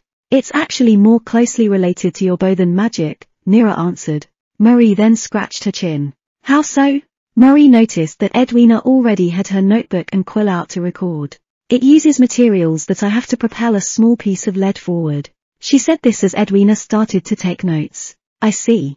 Marie nodded. While the girls were chatting near the entrance of the guild, the guild master was in his office when a guild maid walked in. Guild master Victor, Captain Phillips is waiting for you, she said. Let him in. The guild maid bowed and exited the room. Later on, Captain Phillips of the Knight Regiment sent to aid their battle entered the room. Good evening, Guildmaster, he said. Gold evening, Captain. Please take a seat. Victor motioned for him to sit in one of the chairs that were adjacent to his table. Captain Phillips nodded and sat down. I am sure you are aware that these kinds of hordes only happen when someone or something pushed them out of the eastern forest. Phillips said as he sat down with a map on the guildmaster's table. I am aware. The only question is, what drove them out of the forest? If it was that many that came out, then there is a high likelihood that the thing responsible is extremely dangerous and powerful. Victor said. Yes, this could be a big situation. At worst, it could be a Lord-class dragon. Phillips said, pointing at the mountain range near the forest. If it is, it could be nested up right here. We're not certain, but I will contact the guild leader to see if he could dispatch an S-ranker to deal with this issue, Victor said. For now, all we can do is run scout teams to see if they can spot anything. There are already quests posted on the quest board for anyone who wants to volunteer, Victor added. Alright then, my men will be aiding the town's defenders in patrols. Phillips said. Now that all the formal things are out of the way, how's your life in the capital, Phil? Victor said he was changing his attitude. Really boring, if I have to say. The wife always hounds me, saying that I'm cheating on her.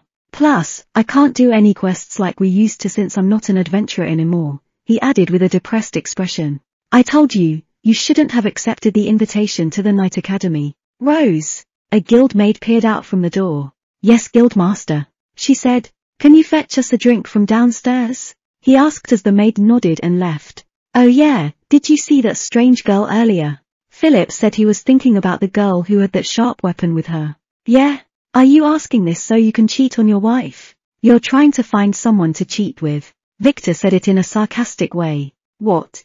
No. I would never cheat on her with another woman. He shouted. Ha ha ha, I'm just messing with you. Yes, I did notice her using that weapon of hers, Victor said, smiling. That weapon was weird. It can easily one-shot creatures that take a few arrows to kill. What does her profile say about her? Phillips said. Let me get the files, he said as he bent down and opened a drawer in his desk. Let me see. Aha! Here she is, he said while pulling a piece of parchment from the drawer. So, her name is Nira Augustine, age 18. She lives with a twin along with her parents, and her class is Archer? Phillips said as he read through Nira's bio. I've never seen an archer field that weapon. Victor commented. It says here she's a rank D adventurer, Phillips said of her rank. Yeah, I guess she's relatively new. She's also one quest away from taking the Archer rank up test, Victor said as Phillips nodded and gave him back the document. Victor grabbed it and put it back inside the drawer. I think we should keep an eye on her. She may do some interesting things in the future, Phillips recommended as Victor nodded. Agreed. Here's your drink, Guildmaster, Captain. The maid from earlier entered the office with two large mugs of beer. Thank you, Rose, Victor said as he grabbed the mugs and gave one to Phillips. The guild made known as Rose bowed and exited the office later on. Cheers to our victory, Victor said as he raised his mug. Cheers. Phillips then bumped his mug, and the two started drinking and chatting into the night. 36, Chapter 20, Being a Good Sister. After the twins said their goodbyes to Edwina and Marie, they arrived home to see that their parents were waiting for them. See Mabel. I told you they were fine. He turned to his wife, and the latter rushed forward to check every square inch of their children. Ouch! Mom! Stop, we're okay. Ellie said as she kept her eyes on Mabel. Yeah, Mom, we're okay. Nira added. Mabel breathed a sigh of relief after she checked on her daughters. It does seem you two are alright, she said. So how'd it go? Marcus said as he walked up to his daughters. Pretty good, me and Nira dispatched a ton of them and even got a lot of silver in doing so. Ellie answered as she and Nira pulled out their coin purses and reveled to have a lot of silver inside. Well, congrats to you too. Me and your mother just hid in the basement. Your mother here kept panicking that you two would die out there, he said while whispering the last part. Now that's over with, let's eat dinner. Mabel announced this as the group entered the dining room to eat. After dinner, her parents and sister retired to bed. Nira, though, went ahead and excused herself to work inside the forge. While inside, she made a few more charts about 11 more so she could start pondering how she would make the entirety of the revolver pistol. While thinking of a way to bend the steel into something that would help her make the revolver, she got a glimpse of Ellie's sword, which was full of cracks and was about to break at any minute. Nira grabbed the sword and inspected it, and true to her, she thought it was about to break. Oh, Ellie, still struggling with the maintenance of this thing. Nira said as she looked around the forge to find the blade she and Ellie forged earlier. This should do, she said, and she grabbed the blade. The sword was practically ready, it just needed a handle and a scabbard. So Nira took the liberty to start making it for her sister. First, she forged a handguard using four pieces of steel rod. She then went around and attached a ring of steel to the rods that formed a circle. She then grabbed a piece of wood from the pile and started carving it using the tools on the crafting table. She slowly chipped away the wood until she had two rectangular parts that had a notch inside to fit the blade. Then, she placed the rectangle blade end into the notch and covered it in wood glue. She then used a clamp to hold it together while the glue dried. As the glue was drying, she grabbed a longer, rectangular piece of wooden plank and started measuring the dimensions of the blade. The sword itself was interesting. It was a long sword, but not exactly long, and it's not exactly a short sword either, it's somewhere in the middle. After she took notes of the measurements, she started carving it into a cylinder, after which she split it in two. She then carved the notches that fit the blade inside the scabbard on one half and did the same with the other half. Then, after she noticed that the glue had dried on the handle, she used the grinder wheel to slowly grind it into a cylinder shape. She then painted it using Ellie's favorite color, which was red. She used black paint as a primer and layered red paint on the handle with black spots to complement the red. After it was dry, she used the black paint on the scabbard. She then pulled out the sword from its scabbard and checked for any deformities, to which she found none. Next, she inspected the sword and was satisfied with how it turned out. She then placed the sword, with its scabbard, on the crafting table. Ah, finally done. Ellie owes me big time for this, Nira said, dozing off to sleep with her head on the crafting table. As morning came, Ellie noticed that her sister was not in their room together. Maybe she woke up early and went to work inside the forge. So she sat up, got dressed, and went downstairs to the forge. Inside, she found Nira, who was sleeping on the crafting table with a sword in front of her. Ellie then picked up the sword and inspected it. She also pulled it out and noticed something with the blade. Isn't this the blade we forged yesterday before the monster horde attacked? She actually finished it. Ellie looked at the blade and back at her sister. She then smiled and patted the sleeping Nira on the back. Thanks Nira. She said. 36. Chapter 21. The gunsmith needs help with magic. Nira woke up later and rubbed her eyes as she rose from her seat. She noticed the sword she finished was not within her grasp and concluded that her sister must have taken it while she was asleep. She stretched her arms as she stood up from her seat and walked towards the exit. She accidentally bumped into a shelf due to morning drowsiness, which caused a book to drop to the ground. She kneeled down to pick up the book and managed to get a glimpse of its title. Magical Arts Volume 1 Foot. Nira then thought that if she could fully utilize her magical abilities, then she would be crafting weapons at peak efficiency. Frost can be used to cool down metals so they can be immediately quenched without the use of oil. Lightning can be used to make a basic electric motor that uses wood and copper.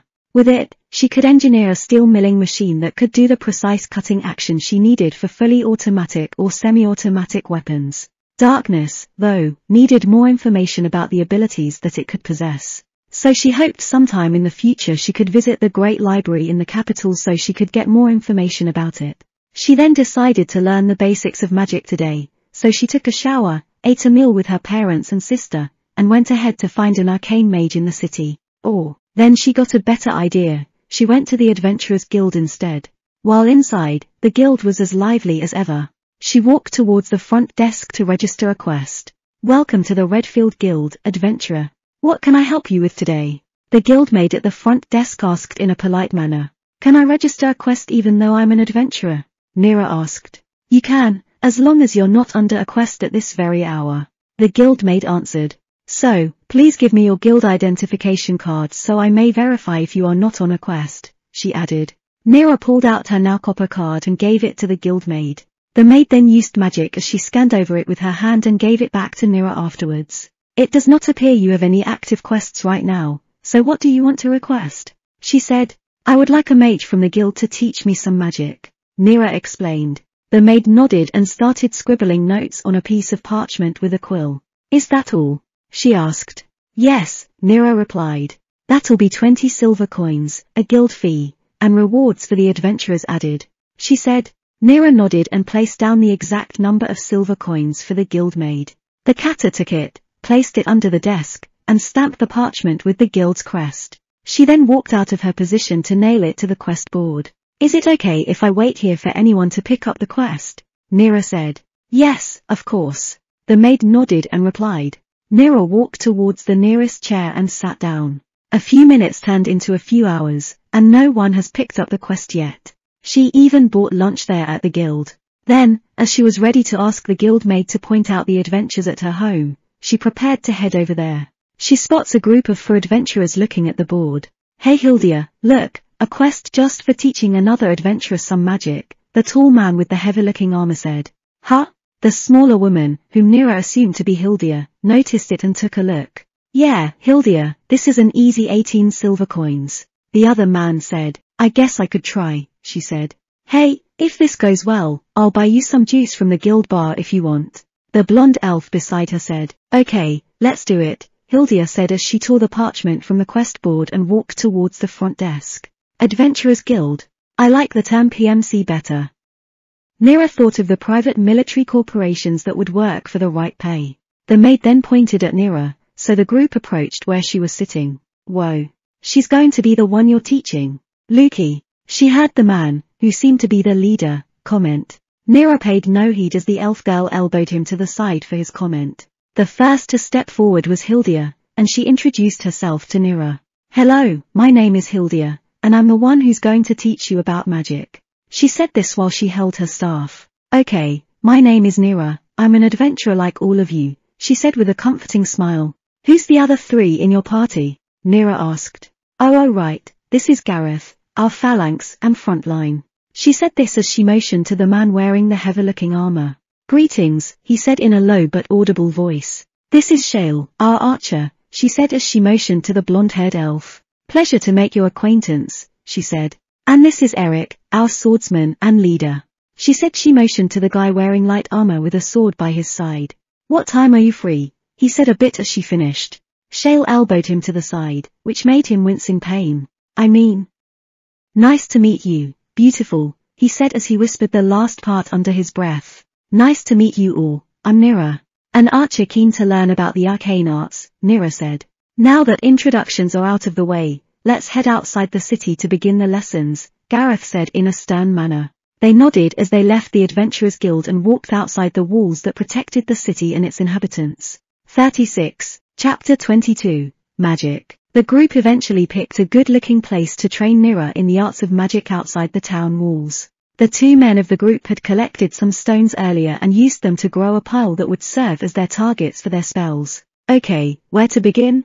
Hildia spoke as she sat down and crossed her legs. She then motioned for Nira to follow suit, and the latter agreed and sat down on the grass in front of Hildia. To first use magic, you need elemental mana, which is the energy that created and shaped our world, to reach a certain threshold. It's the first step all of us mages must make to harness this energy, Hildia said. She lost her aloft and shy personality when she started explaining. Just close your eyes and focus on a point inside your chest. If it starts to feel uncomfortable, just continue. It just means that the mana is close to reaching the breakthrough it needs to manifest outside your physical body. She explained. Nira obliged and closed her eyes. She started focusing on the three spell affinities she was compatible with, which were frost, lightning, and darkness. For the first few seconds, nothing happened. She just saw complete darkness inside her closed eyelids. She concentrated more for a couple of minutes until, suddenly, she started to feel the uncomfortable feeling that Hildia mentioned. She tried to ignore the pain but kept going. That's it, Nira. Keep going, yelled Hildia's voice from a distance. Outside, Hildia had distanced herself because of what was happening. Small arcs of lightning cracked around her body as a layer of ice formed under her feet. The strangest thing for Hildia, however, was that dark spheres that floated around Nira, which left her in awe. That could only have meant one thing. She has an affinity for darkness magic. She said it in a low voice, which her party members heard. What? Isn't that, like, really rare? Eric yelled as Shale elbowed him hard in the stomach. SHHHH, she said. Yes, only one in 10,000 had been blessed with darkness-compatible magic. She answered. I see, Gareth said as he looked at Nira, who was still concentrating hard to get her mana to reach that threshold. Nira had been experiencing pain in her chest for quite a while now. It felt like ages, but in reality, it's only been a couple of seconds. She then started to imagine three spheres of light that were trapped within herself. One black, one bluish-white, and one yellow. She kept at it until something finally clicked. The spheres left her body like an erupting volcano and started to circle her. Nira finally felt the pain dissipate and relief coursed throughout her mind. She noticed that the spheres circled with great speeds as her brain checked her out of her mind's cape. Back outside, a small shockwave emerged from where Nira was located. It melted the ice that formed under her feet and dissipated the lightning and dark orbs that surrounded her. When Nira opened her eyes, the first thing she noticed was that everyone was a fair bit away from her. Did something happen while she was trying to get the elemental mana to reach its threshold? You did it, Nira. Hildia congratulated her as she ran up to Nira with a big, proud smile plastered on her face. Nira smiled too, due to her accomplishment. What's next? She asked as Hildia nodded and motioned for her to approach the four piles of rocks they have as target practice. Now, it makes things a whole lot easier. Hildia said, to cast a spell, you have to think about what element that spell would use and the outcome of it. It helps if you yell out the name of the spell, and remember to always be confident that your spell would hit the mark, like this. She said this as she opened her hands and aimed at the rock pile. Fireball. A ball of flame manifested out of her hands and traveled across the small distance to hit the rock pile. Once it impacted, the entire pile exploded. See? That easy. She put her hands on her hips and wore a big smile. All of this seemed so weird to Nira, especially the saying the name to cast the spell part. She wasn't a big fan of novels, especially fantasy ones. She's only ever read the history of firearms. Nevertheless, she brushed those feelings aside and walked to face the other rock pile that was waiting for her. She then opened her hand and aimed it at the pile of rocks, just like Hildia did. She thought of the element she would use and shouted, Ice spikes. A dozen or so spikes made out of ice suddenly came out of her hand and traveled to hit the stone pile. Once it did, it wasn't as big of a damage as Hildia's fireball, but it still did the damage. Very good. You catch on quick. Now try your other two elements on those last two piles. Nira nodded and did the same to the other rock pile. Only this time she would use her lightning affinity magic. Lightning arc! She shouted. Lightning shot out from her hand and instantly impacted the rocks. All of the rocks were pulverized by the electricity. Good, now for the last one, Hildia said a bit hesitantly. Nira did it again, but this time she said the name of the spell. Darkness Pulse. She shouted, but to her dismay, nothing came out of the spell she casted. I knew it would be hard for you to harness the darkness attribute spell. I recommend you go to the Great Library inside the capital for information about this attribute because you're the first person I met with the darkness attribute, and I have no knowledge about it. Hildia said. Nira sighed and walked up to Hildia. The rest of Hildia's party approached them. That was spectacular, Nira. You're really a fast learner, Shale said. Yes, I agree with Shale. What you did usually takes years to master, Gareth commented. So now that you're free. Kanyo Eric was then cut off by Shale stepping on his foot. He then winced in pain while he held his injury. Thank you for teaching me, Hildia, and thank you guys for helping, Nira said. Gareth smirked, and Shale smiled. As for Eric, his face was still in pain from what Shale had done to him earlier. As for Hildia, she wore a proud smile. The group then went back to the Adventurers Guild as the sun was setting. Hildia's party then picked up the rewards from the quest Nira had commissioned. Outside, Nira had noticed that they were already prepared to leave the city. Where are you guys going? Nira said. To Ares, we have to go there to get an escort quest to the capital, Gareth explained. Okay, Good luck on the journey, Nira said, and thanks again for the help. Nira added and turned to Hildia. And eh, no problem. Just go look for us if you need any more, Hildia said. The group then waved goodbye to Nira as they left for the city of Ares. As for Nira, she returned home, eager to experiment with the new things she had learned today. 34. Chapter 23. Big Step. As soon as Nira returned home, she got straight to work on a groundbreaking invention that would change the world if she shared its secrets. The electric motor. If she were able to make a basic and functional electric motor, then manufacturing firearms would be a whole lot easier. Especially when she can just drill solid steel rods to make a barrel and use the drill to start milling steel blocks to shape them into more complex parts for self-loading firearms. Nira only has the basic knowledge of how an electric motor works due to the times that the steel milling machine she used extensively in her past life broke and she had to fix it on her own. Nira got to work and started scribbling down plans. She already has the power supply, which is lightning magic. The electric motor works on the principles of electromagnets, which turn ordinary metals like copper into working magnets by using electricity, and that opposite poles of a magnet attract while the same poles oppose one another. With a bit of thinking and head-scratching later, she deduced that she needed two curved pieces of lodestone that would act as the stator, which is the part of the electric motor that stays still, while the rotor, which comprises several copper rods, would spin using an electric circuit by means of lightning magic. First were the pieces where the copper bar would be bent around, called the armature. The armature, when electricity is fed through it, would become an electromagnet. So she needed a casing that would help shape the copper bar, made out of a material that does not let electricity pass through.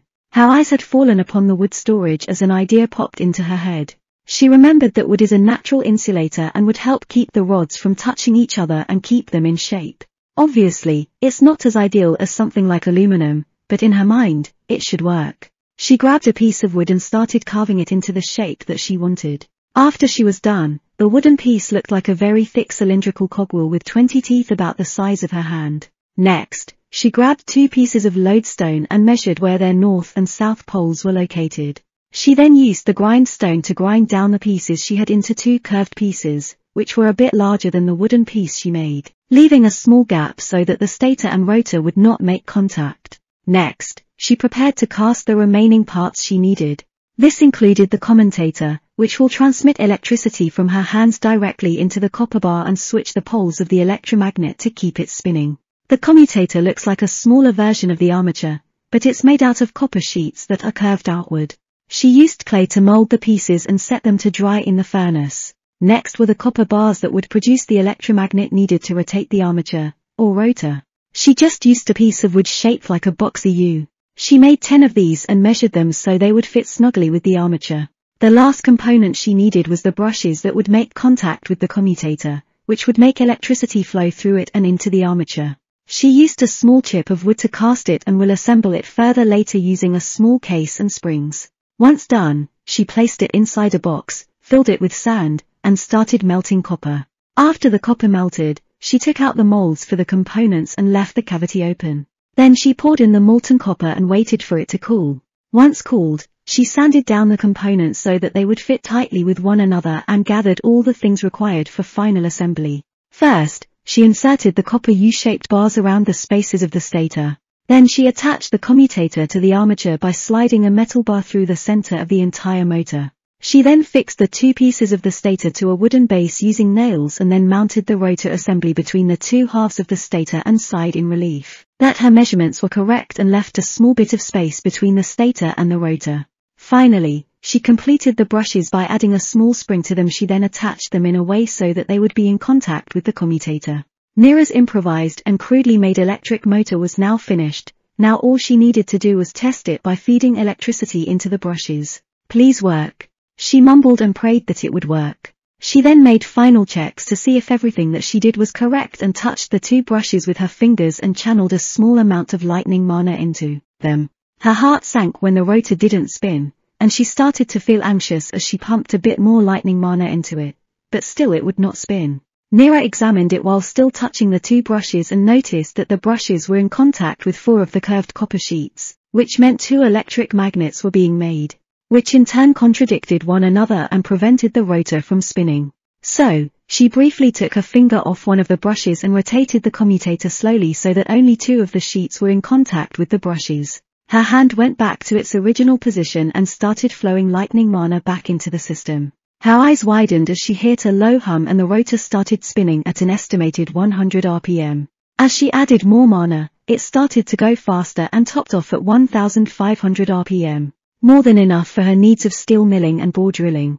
The design may be crude, but an electric motor spins faster based on how much electricity is fed into it. With lightning magic, and if she had the right materials, she would have an electric motor spinning at 6,000 rotations per minute. She let her fingers out of it and jumped in joy as her crudely made electric motor came to life. Now she just needed to forge the drill bits so she could get to work on the single-action revolver. 38. Chapter 24. Drills and Rifling. To make the drill bit for the electric motor, she would have to use the electric motor to rotate a high-carbon steel rod and slowly carve out the helical shape of the usual drill. So to start, she needed a way to attach the high-carbon steel rod that would become the drill bit. She got an idea when she looked at her hand. Lightning magic. She remembered that lightning can be hot enough to melt steel. She would need to put a lot of mana into a tiny point so that the small lightning that she would use would last long enough to weld the steel rod to the rotating rod. She followed through with it and grabbed the steel rod she needed from the pile. She then sat down, facing the electric motor she had made, and placed the steel rod in contact with the rotating rod. She then closed her eyes and focused on a singular point on her finger. When she opened them, small arcs of lightning flew out of her hand and should be bright enough to weld the two rods together. She then smirked and put her finger near the point where she needed the two metals to partially melt.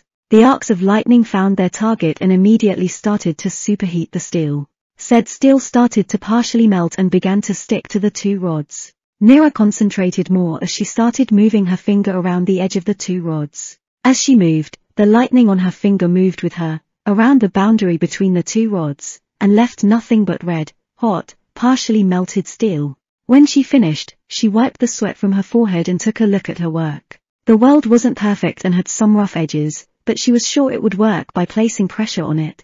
She then sat down on the floor, exhausted after using a lot of her elemental mana to power that improvised welding torch. After a few minutes, she grabbed the chisels used in carving wood and sharpened them on the grinding wheel. Then, she used more copper bars to connect the two points so that only one of her feet would be touching them while she used the other hand to mill the steel into the shape of a drill bit. She then removed her boots and socks and touched the copper rod below the desk. She then channeled lightning magic into her feet as the electric motor started spitting out the steel rod. She tested it out first by using the chisel tip to cut off a section of the rod as it rotated. After grinding the steel into the chisel while it rotated, a small bit got cut off in the shape of a disc. Satisfied, she began to carve out the helical shape of the drill bit by tilting the chisel to the side and slowly moving up so that it would form a helical cavity inside the rod.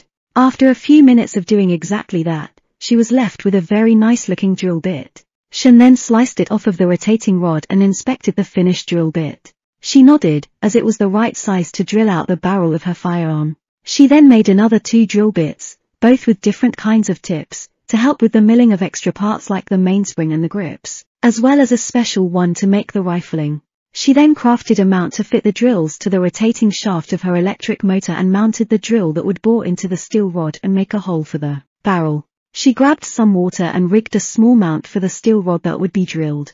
It had springs on it, so it would pull the steel rod towards the electric motor so that it would always be in contact with the drill bit. Nira breathed out, as she was nervous. She did all the final checks she needed and started the electric motor by means of lightning magic through her feet.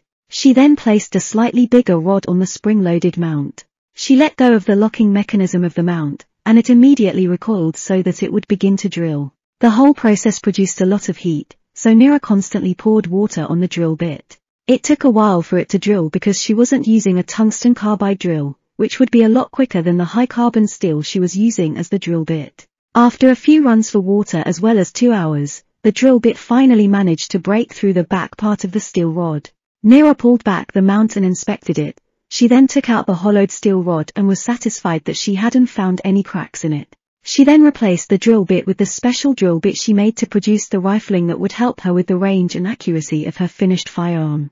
It had a sharp point with gear-like teeth that would mill the steel and produce the crevices that the notches in the bullet would follow to spin. After she attached the special drill bit, she then lowered the speed of the electric motor to about 100 rpm by lowering the input of lightning magic into it. After which, she unlocked the spring-loaded mechanism as the drill started to do its thing. After an hour, it was done as Nira took her foot off of the trigger for the electric motor, pulled the mount back, and locked it in place. She then inspected the finished product by looking inside and confirming that the rifling was present and was almost perfect. She pumped her fist in joy as she celebrated her achievement.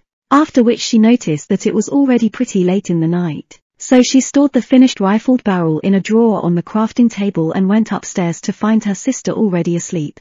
Nira smiled at her sleeping sister and took her place on the bed to end this momentous night. One step closer to that revolver, she murmured to herself before dozing off to sleep. 32. Chapter 25, Revolver. The next morning, after Nira and her family ate their breakfast, Nira immediately proceeded and excused herself.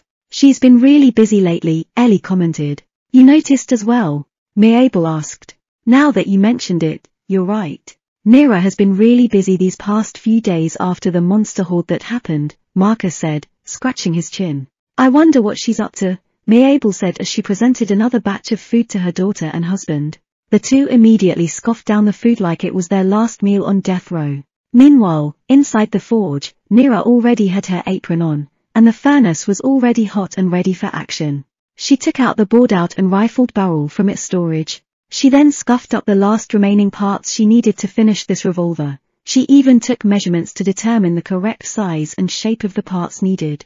After the barrel, there were at least 46 more individual parts she needed, so she took the liberty to slowly make a mold for each individual part using clay. But parts like the cylinder would be made by milling a thick steel rod to fit her specifications.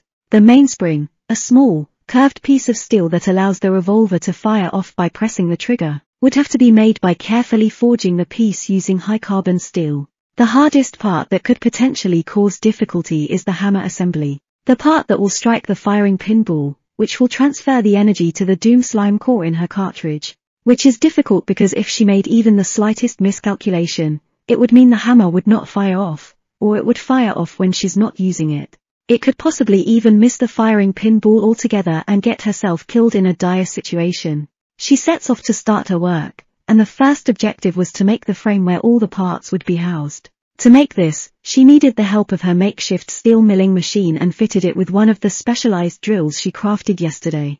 She still remembered each intricate detail, including where screws would be placed and the space where parts would be housed. These include the hole where the barrel would be mounted, pins where individual parts will be placed, spaces and notches where screws will be fitted, as well as the hammer assembly. She also fashioned a notch where she would house the revolving cylinder. After she was done, she measured everything and concluded that each hole and notch met her desired specifications. Next, she had to use the same drill bit to make the rotating cylinder, which will store six rounds of ammunition and be revolved to a set parameter after she cocks the hammer and cycles the action. It was fairly simple because she only had to drill holes in it for the six rounds as well as a pin where it would be paired with the notch in the frame. After she finished milling the steel rod, she, of course, inspected it and measured each hole. Again, her calculations were correct, and it should be a perfect fit into the frame. She then placed the cylinder into the frame she had just made and deemed it to be a perfect fit. Now she grabbed a lot of clay and started molding parts like the trigger guard, the trigger, the hammer, the firing ball assembly, the front and back straps, the bolt, the sear, and the hand assembly. The sear was particularly important because it held the hammer and the bolt back so they would fire off when the correct pressure was applied to the trigger. It needed to be perfect, or else it could prove disastrous. Once she had them all in clay form, she placed them near the open fire of the furnace so they would harden. While it was hardening, Nira grabbed a small piece of high-carbon steel and started the process of making the mainspring of the firearm. She needed to be careful because if it was too hot, the spring would bend, and if it was too cold, it would snap. She needed it to be at the right temperature before hardening it by means of quenching. Her first attempt didn't go well because the spring, when she tested it, snapped, which meant it was too cold when she quenched it. The second attempt was too hot, so it bent in a weird way. The third attempt didn't yield results, though, as the steel was again too cold and snapped under pressure. Nira was not about to give up, though, and on her fourth attempt, she finally nailed the right temperature, which made the steel piece bend and return to its original position. She sighed in relief as she enjoyed her momentary rest before she went back in. She noticed the molds were ready, so she prepared the casting sand to cast individual parts as well as heated up a piece of high-carbon steel. After the steel was ready, she removed the mold from the casting sand, leaving a cavity to pour the orange molten metal inside. After a few minutes of waiting, she took out each and every individual part. Her heart sank for a moment when she noticed that the sear was slightly big, but she remembered she could just grind it down with the grinding wheel, which she does until the part is to her specifications. The other parts, like the trigger, hammer mechanism, and trigger guard, were to her specifications, and she collected them along with the cylinder and the frame along with the barrel for the crafting bench. She then attached each individual component with a pin as well as washers, and some had small springs. After the whole firearm was complete, she prayed to God that everything she did was correct and checked each individual part twice. After she was sure everything was in order, she cocked the hammer back, and she heard a click, which indicated the sear had engaged with the hammer assembly and was holding it back. She then also noticed that the cylinder revolved at the perfect angle to chamber around in line with the barrel. She nodded and gently pressed the trigger. She noted the trigger was hard, which meant the sear was biting it. When she pressed it fully, the hammer slammed into the firing pinball with such speed that it would ignite the Doom slime core inside the cartridge if it was loaded. It worked. Nira couldn't believe her eyes. She even wiped them just in case she was hallucinating from the heat in the forge. She cocked the action again, and the same thing happened, the cylinder revolving into the correct position. The clicking sound when the sear engaged with the hammer assembly, as well as the hammer hitting the firing ball pin precisely. It worked. She exclaimed and threw her arms up in the air in joy. 34. Chapter 26. Speedloader. What worked, sis? Ellie said as she went inside the room to check why her sister was yelling. Oh, Ellie, it's just this new gun I made, Nira said as she tucked away her self-made steel milling machine under the crafting table. Oh? Can I see it? Ellie said while she examined the strange machine her sister was putting away. Sure, just be sure not to drop it since I'm not done running durability tests yet. Nira then stepped to the side so Ellie could get a good look at what her sister had made. Ellie then walked towards the crafting table. She then saw a strange-looking shape that she had never seen before. It looked like her little side weapon, but it had a very thick middle part, along with the strange-looking cylinders made of parchment paper that were on the side. She then slowly lifted the strange device and noted that it was a little bit heavier than the other weapons she used. Is this an upgraded version of your weapon, sis? Ellie said as she turned the weapon to the other side and noted that it looked very complex. Yeah, Nira replied. With this, I can shoot six times before having to go through the long process of reloading. She added, I see, and what are those cylindrical parchment things? She asked. It makes reloading much easier and takes less time. Nira answered. Ellie then took note of the sharp curves and some metal shavings on the ground beneath her feet. How did you manage to get this shape? It looks so perfect. She asked as she stared at the metal shavings. Oh, I used that little machine near your foot. It takes off small parts of the metal like you would with wood, just more precisely, she answered. Ellie then bent down to see what Nira was talking about. It looked like a huge cylinder mounted on a big piece of wood with a strange attachment at one end and a central steel bar in the middle. Sis, this thing you made could revolutionize the way we make things, Ellie said as she stood back up. Yes, but I would rather not share it for fear of it getting into the wrong hands, Nira said. If they get their hands on this, there is no telling what kind of weapons they could produce with a bit of magic. Better to be safe than sorry Nira thought. I see, Ellie said as she understood the consequence of letting this technology fall into the wrong hands of greedy people. Can I see what this new weapon can do? Ellie asked again. Sure, but maybe later. I still have to do final checks on it as well as make some final adjustments. Nira answered. Ellie nodded and gently placed the revolver back on the crafting table before she faced her sister. I'll see you later, sis, Ellie said with a smile. Sure, Nira replied with a smile of her own. Ellie then left the forge as Nira made the final checks on her arm. She nodded with a smile, saying that the revolver she made seems to be very sturdy and should last a long time. She then took some measurements and started planning on making a revolver speed loader. A sort of cylindrical device that does exactly as its name would imply. It loads a revolver swiftly by loading all six rounds of ammunition at once and not one at a time. It should be really simple to make, so she grabbed a piece of steel ingot along with her makeshift electric motor and drill and fixed the steel ingot on the receiving end. With careful hands, she slowly used the electric drill to cut the steel ingot into shape.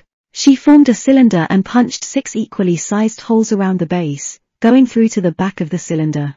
She then left a hole in the center from the back, which she never punched out on the other side. This is where the second part would go to complete the setup.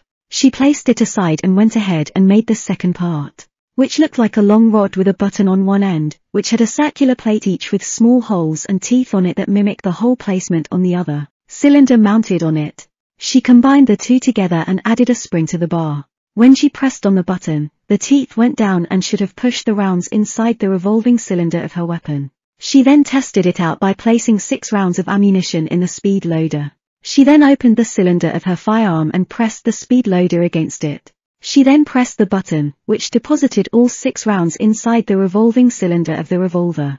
Nira then pulled it away and closed the cylinder, pushing it back towards the frame of her weapon. Nira nodded in satisfaction as she went on to make five more speed loaders and load them all up with rounds of ammunition. She then opened the belt compartment she wore during combat and removed all the lead balls for her flintlock and replaced them by placing all of the speed loaders as well as her rounds of ammunition inside the compartment. She then closed it and placed the lead balls to the side so they would be recycled and melted down to make more projectiles for her cartridges. She then noticed the mess she made while she crafted the revolver and the speed loaders. So she starts cleaning. She first swept the floor to clear it of metal shavings from milling steel and melted it back down to ingots. She then tucked away her electric motor and drill under the crafting bench and organized all of the drawers she took parts from. After she was done cleaning, Ellie entered the room and whistled. This place looks new. Ellie commented. Thanks, I'm done checking my weapon. We can go out and see if it works for the first time now, Nira said as she turned to her sister with a smile. Okay, let's go. Ellie replied with a smile of her own. 33, Chapter 27, Rank Up Quest. While walking towards the front door, Ellie suddenly remembered something that she wanted to talk to her sister about. Sis, wait. Ellie tapped Nira's shoulder, and the former turned around to face her. Nira had a puzzled look on her face as she turned around. We're only one quest away from ranking up to C-class, let's do a D-rank quest now and also do the rank up test so we can gain access to escort quests. Ellie said. Nira thought for a second, maybe she can take the escort quest to Ares, where she can get another one to travel all the way to the capital city of Ceres. Sure, let's grab our equipment, Nira said as Ellie nodded. The two went back to the forge to arm themselves, Ellie with her swords and Nira with her firearms. She put the new revolver inside a holster that was attached to her belt. She grabbed her musket with the bayonet already attached to it and carried it using the leather sling her mother had made. After they were done, the two went to the front door and started walking towards the guild. Along the way, they encountered Marie and Edwina, who were walking down the street on the same path towards the guild. Oh! Hey Nira! Hey Ellie! Edwina waved to get the twins' attention. Fancy meeting you two here, Marie said with a smile plastered on her face. What are you two up to? Edwina asked. We're getting another quest from the guild to take on the rank up test, Nira said. In that case, can we come along? I'm already a rank C, but Edwina is the same as you, and we were about to take a quest for ourselves. Marie said as she motioned at Edwina. Yeah, let's form a party so we can help each other, Edwina said gleefully with a smile. The twins looked at each other and nodded, each wore their own smile. Sure, the more the merrier, right? Ellie said. The group eventually reached the guild, where there were a lot of D-rank quests available. The four girls eventually decided on an extermination quest for goblins. Apparently, there were still some stragglers that were left over from the monster horde and needed to be taken care of. Nira thought this would be a perfect test for her revolver since goblins tend to congregate into groups that they have to take out individually. The quest called for the extermination of 20 goblins and bringing back their ears as proof that the extermination was a success. The group then got the quest approved by the guild maid, and they set off to the northern forest, where the quest dictated that groups of goblins could be found. Along the way, they made some small talk with each other until they eventually reached the forest. Alright, weapons out, everyone. There's no telling how many goblins are in this forest. Nira said as she pulled out her revolver. She checked if there was any ammunition inside it and closed it back when she saw there was. Hey, that weapon looks different. Marie said as she looked at the strange weapon Nira was wielding. Aren't you going to use your larger one with the short sword attached to it? She added.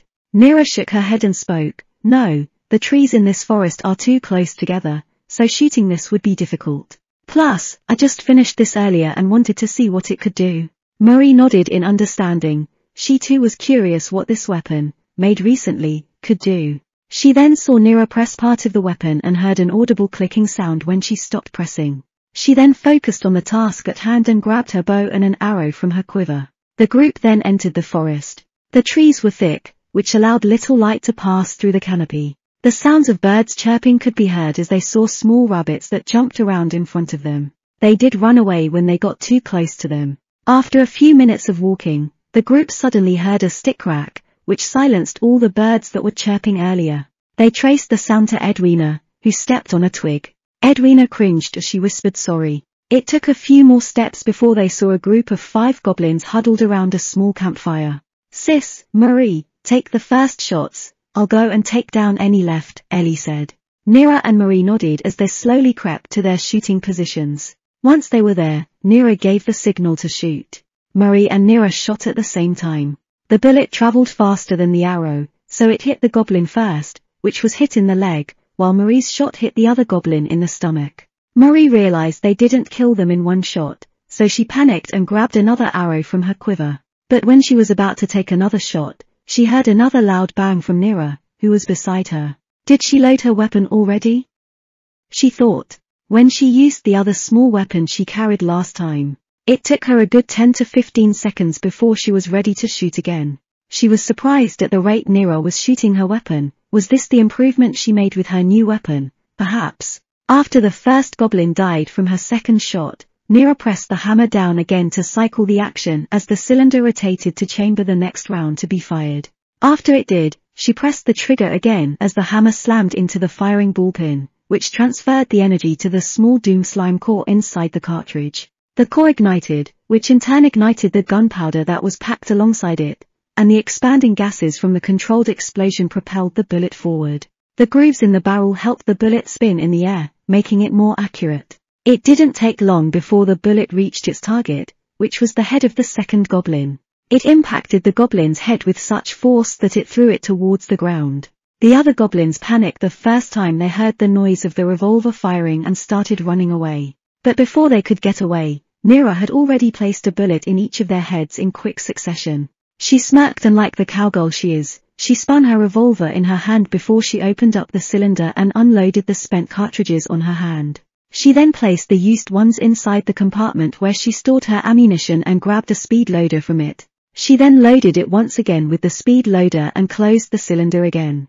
When she did, she made a little inspection of the firearm to check for cracks and deformities, to which she found none. She smiled in satisfaction that her firearm performed perfectly without any flaws. She then looked back at her companions to see what they would think of her newly made firearm, and their expressions were as amusing as she thought they would be. Ellie and Marie were staring wide-eyed at her, while Edwina was seen staring at her with admiration. 31. Chapter 28. Deadly Encounter. Sis. What was that? Ellie was the first to break out of her shock.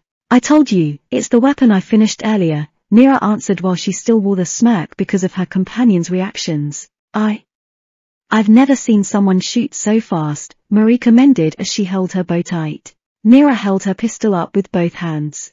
Of course, fingers are off the trigger since there isn't a safety mechanism implemented into it. Edwina though? She looked at the weapon Nira was holding. She wanted to know its secrets and how it worked. Maybe she'll ask Nira how it works later.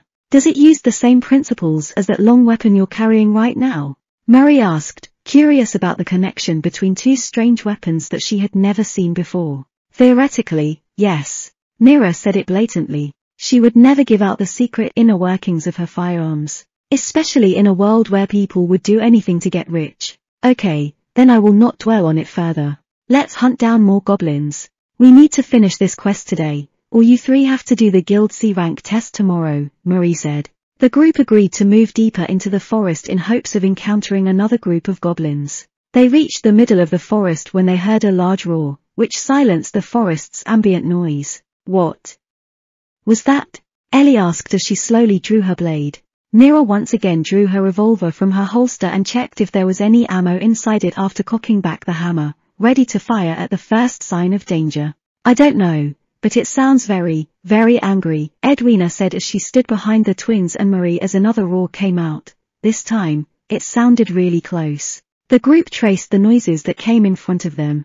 Marie, with her heightened hearing, noticed that the roars were somewhat distorted, like someone was trying to scream in a thunderstorm. Oh God! Marie whispered with full worry in her voice. We need to get out of here, Marie said as she turned to run. The others followed suit and started running in the opposite direction. Marie, what was that? Ellie said as she ran alongside the elf. It's a her response was interrupted by a lightning bolt that almost hit her. Their eyes opened wide as they gazed back on the foe who had seemingly shot them with it. They saw what looked like a deer, but its antlers were made of steel, and its body was covered in a thick coat of black fur traced with glowing blue edges. Dear Lord, what in purgatory hell is that? Ellie exclaimed as she stood in front of Nira just in case it shoots another lightning bolt. It's a Sturmhirsch. Rank A monster. Edwina shouted. Let's get out of here, now. Nira said as the Sturmhirsch pointed its antlers at them for another attack. It's going for another attack. Move. Nira shouted. The Sturmhirsch fired off another lightning bolt, which almost hit the group.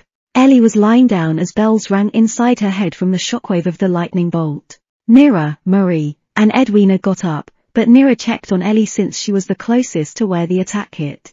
Nira then helped her sister up with some kind words. On your feet, Ellie, we are leaving.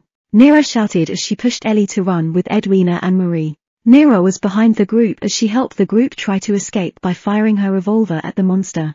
The deer took several hits to the head but was unfazed in its pursuit. Until, with the last round in the cylinder, Nira managed to hit it in the eye. The bullet only ricocheted off of the deer's skull, but this only made it really, really mad. It immediately fired off another lightning bolt that hit near Nira's position, which sent the adventurer flying and falling down a steep slope due to the shockwave. All Nira could hear was the pained scream of her sister, who turned back to see what happened. Nira, 28, Chapter 29, New Friend. After the group lost Nira to the Sturmhirsch, they immediately reported the encounter to the guild, which sent out a small search party. Ellie, Edwina, and Marie were with them. Meanwhile, Nira lay unconscious from the fall. She heard some light footsteps that were approaching her from the front, which she stirred awake from. When she opened her eyes, all she could see was a dense forest with a thick canopy overhead. The footsteps that were approaching her suddenly vanished. She shook her head and checked around to find her pistol, which she still held. Her musket, though, it was sticking upright behind her with its bayonet stabbed into the ground. She frowned when she noticed the barrel was bent beyond repair possibly due to the fall and it looked like it hit a boulder on the way down. So it was better to craft up a newer, better long-arm weapon. She grasped her revolver tightly and checked the compartment where she stored the ammunition. To her dismay, she only found two speed loaders left, each with six rounds. So, in total, she can only fire 18 shots, and thought that she better make those 18 count. I need to regroup with the others, Nira said as she noticed that the sun was setting. She would have to make camp for the night. It's either that or get lost, finding the way back to civilization, which she would rather not do. So, she started walking on what she thought was the southern path to find a place where she could hunker down and make camp for the night. Unbeknownst to Nira, however, she wasn't just hearing things earlier. Inside the bush that was beside her were a pair of glowing eyes that looked curiously at Nira. When she started walking away, the creature followed her out of her peripheral vision. As the night drew on, countless noises from creatures in the forest echoed through. Then I found a small clearing, and in the center was a pile of boulders that had a fallen tree over them, which looked like a small den that could be used as shelter. Nira had to check if there were any creatures that were already living in it, so she pulled out her revolver and carefully approached the formation. She held her breath as she pointed the gun inside the formation and found nothing. There were no wolves or foxes that would call this their home. Satisfied, she then sat down inside the formation and grabbed two pieces of wood she could make a fire from. The night started to get cold, so she needed a fire to stay warm. She tried and tried, but no matter how many times she tried, she could not start a fire. She then got an idea. She pulled out a single cartridge from a speed loader and turned it upside down. Then, with careful hands, she grabbed the small doom slime core inside it and placed it on a pile of sticks. She then grabbed a rock and smashed it against the core. The small monster core ignited the sticks and turned it into a small fire. She then grabbed a larger stick and poked around to get the monster core out of the fire. She did get it out eventually and put the core back inside the cartridge, ready to be fired. Her moment of victory was cut short by the sound of her stomach demanding input. So she grabbed her bag and pulled out some rations, like dried bacon strips. Thank God I bought some from the market before we left, she said slowly to herself. While she was eating, she couldn't turn down the sense that she was being watched. The sound of a stick breaking from the outside immediately kicked in the adrenaline as she grabbed her revolver and pulled back the hammer. She peeked outside to see what caused the noise, but again, she found nothing. She remained vigilant as she heard the sound of eating. When she looked back, she saw something that she could only describe as cute. Inside was a small white fox. It had silver edges to the tails yes, tails. It had three of them paws and ears. It is currently munching on the dried bacon strips she left earlier when she left to look for any dangers. The fox noticed her as it stopped what it was doing and immediately leapt to hide inside a pile of sticks in the corner. Nira could have sworn she saw the secondary colors turn from silver to yellow before they dove into the stick pile. She giggled at its actions as she carefully went to grab the stick of bacon the fox was chewing. She then held it out in front of the stick pile and said, Are you hungry? Here, eat it. It's for you. Morphu? The fox said as its head peeked out from the pile. Go on, take it, Nira said. Morphu. The colors on the fox's ears suddenly turned bright pink as it jumped out of the pile and snatched the bacon strip from Nira's hand with its mouth. Nira giggled as she sat down on the ground near the fire, grabbed another one from her bag, and started eating it. She was startled when the fox jumped onto her lap with an accompanying Morphu. She smiled as she patted the fox on her lap, the latter started purring as it waged all three of its tails while munching on the piece of dried bacon. She looked down at the fox and started murmuring about the thing it said all the time. Hum, Morphu, I'll call you Morphu then, she said as she rubbed the fox's back with her hand. Morphu Tilda the fox purred and rubbed its head on Nira's hand. 31. Chapter 30. Morphu the Foxo. The next day arrived. Nira woke to the smell of her campfire going out. When she opened her eyes, the first thing she saw was Morphu. The small, three-tailed fox huddled around near her face, so he was the first thing she saw. She then got up and scratched her eye, followed by yawn. The movement startled Morphu a bit, so he also started to wake up. Good morning, Morphu, Nira said as she got up. Morphu. The fox was a bit tired, so it took him some time to fully wake up. She saw Morphu's ears and tail tips turn a silver color for a moment before turning back to black. After Nira did some stretching, she holstered her pistol and grabbed her bag. By this time, Morphu was also awake and was now on all fours, following Nira. The tips of the fox's ears and tail also turned their normal silver color. They walked for what it felt like to be a couple of hours. Nira periodically stopped to eat as well as feeding Morphu some of her last food. She had to rush of being vulnerable by using one of her remaining cartridges to hunt. When she was about to leave to go hunt for food, Morphu came along and had a dead rabbit in his jaw. Morphu, Morphu said as he placed the rabbit near Nira. Nira was surprised that Morphu was able to hunt relatively quickly, and with a creature as big as him. So she patted Morphu's head, to which Morphu gave her a satisfied, Morphu Tilda. Nira then grabbed a knife to start butchering the rabbit for its meat and removed the bones. A couple of minutes later she manages to start another campfire, using the same method she used yesterday. She cooked the rabbit meat and started eating while she also fed Morphu as she ate. After their little lunch break, they continued with their walk once again. Nira knew that she needed to find a river that usually goes through this forest, because if she followed it downstream, she would find the walled town of Redfield. Her sister and parents must be worried sick, that only made her even more determined to find her way back home. Her eyes focused on Morphu for a bit, maybe he could help find the river with his sharp nose and hearing. Just as she was about to ask Morphu for something, the two heard a loud, thunderous clop in front of them. That could only mean one thing. The Sturmhirsch was near their location. Morphu was shaking as he looked straight in front of them, so Nira picked him up and ran towards a nearby bush. Nira peered through the leaves to see the Sturmhirsch clopping towards their last known location, still with the injured eye it suffered from Nira yesterday. She guessed it wanted payback. It looked around to see where Nira was, but she stayed completely still, even holding her breath in the process. Adrenaline was coursing through her veins, telling her to run, but she fought through those instincts and stayed completely still. When she looked at Morphu by her side, he was slowly backing away. She saw the Sturmhirsch breath out in frustration as it slowly clopped away. But before it could go away, a loud crack, possibly from a stick, could be heard. Nira turned around to see that Morphu had stepped on a stick, which caused the noise. Nira immediately picked up Morphu and dashed out of the bush before it got hit by a lightning bolt. Nira ran around while she carried the small fox in her arms. She pulled out her revolver and started unloading on the deer. She fired off five shots that hit the deer in multiple areas that included the leg, torso, head, antler, and even the abdomen when it stood up on two legs, trying to intimidate Nira. All of them ricocheted off the deer's body. The problem with revolvers is that they sometimes lack the penetration needed to kill large animals. As she readied her final round, the deer started a charge right at Nira, aiming to impale her with its antlers. Nira managed to dodge in the last possible second, but she tripped on the landing. She tried to get back up before getting electrocuted by the deer behind her. Her pained screams grew silent as she fell limp on the ground, Morphu jumping out of her arms. Morphu, the fox tried to get Nira to stand up again, but the girl was too injured. Morphu. Run. Nira spoke in a low voice as the fox noticed that the deer was slowly moving up to them. Morphu did as he was told and ran towards a bush. Morphu can't let the person who was so kind to him die here. After all, he was just investigating the spot where a battle happened inside his territory when she saw Nira laying on the ground. He healed Nira's wounds from the fall with his special ability, which allowed him to heal wounds that could kill a person by licking. He was so startled when she woke up that he jumped into a nearby bush to hide.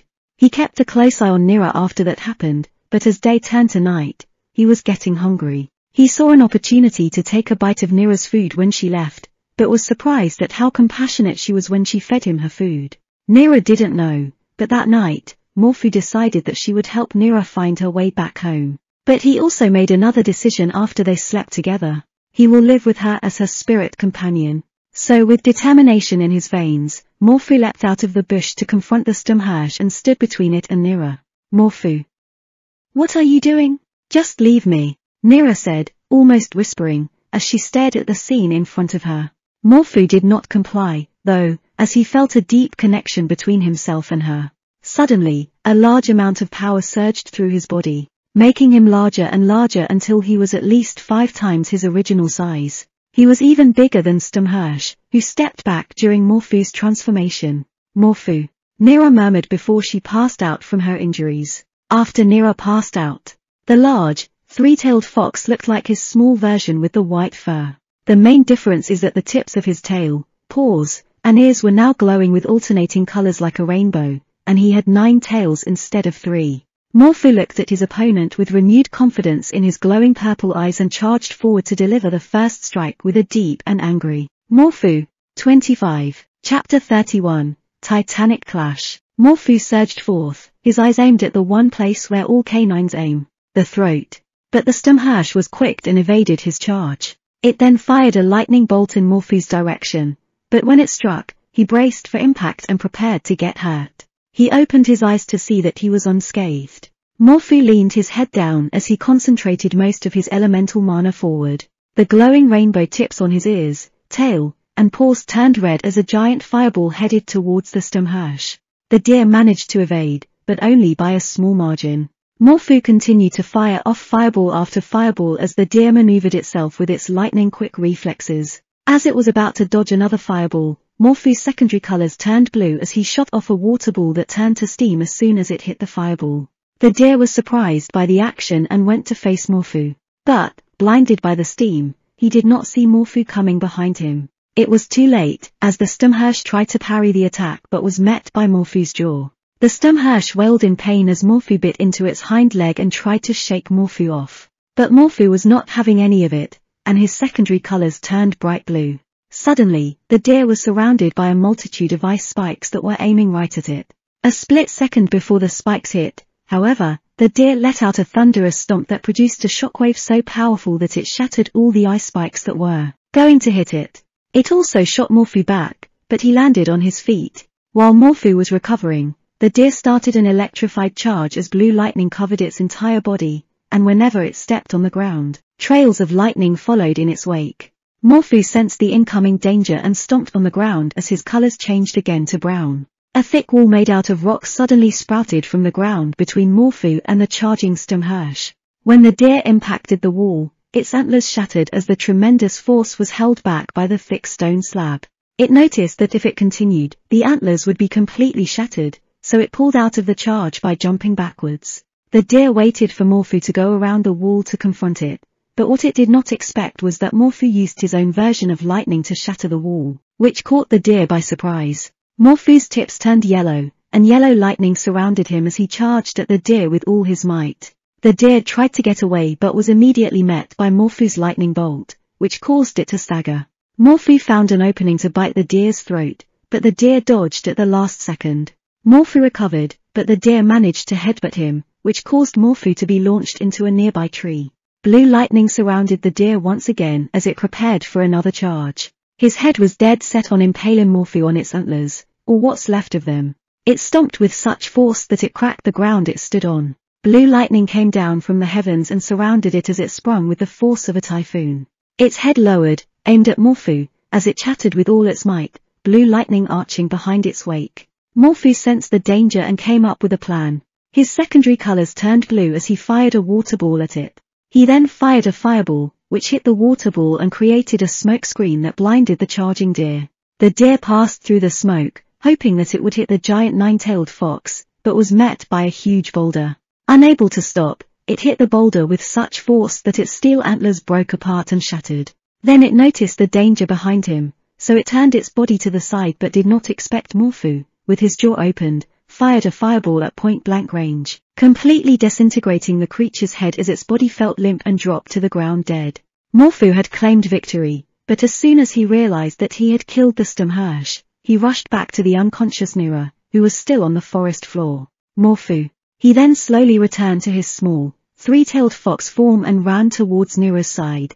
He noticed that Nira was still breathing, but it was faint, so Morphu started licking her forehead, trying desperately to heal her. His worries were cut short when Nira started to stir. Nira had awoken from her unconscious state, and what she saw was a battlefield fought between two great powers. Trees are cut in half, some are even burning. Creators struck about as her eyes fell on the dead corpse of the Sturmhirsch. Morphu. She was then surprised as Morphu leapt into her arms and started nuzzling his head against her chest. Morphu? Did you do all of this? Nira said as she held up the small fox in her arms. Morphu, Morphu, Morphu. The fox said this as it made small nods. Wow, you're just full of surprises. Nira commented as he slowly put down Morphu. I'll report this to the guild once we return to Redfield. Nira spoke as Morphu agreed silently. Come on, Morphu, let's go home, Nira said as she kneeled down with her arms open. Morphu jumped into her arms as Nira picked him up.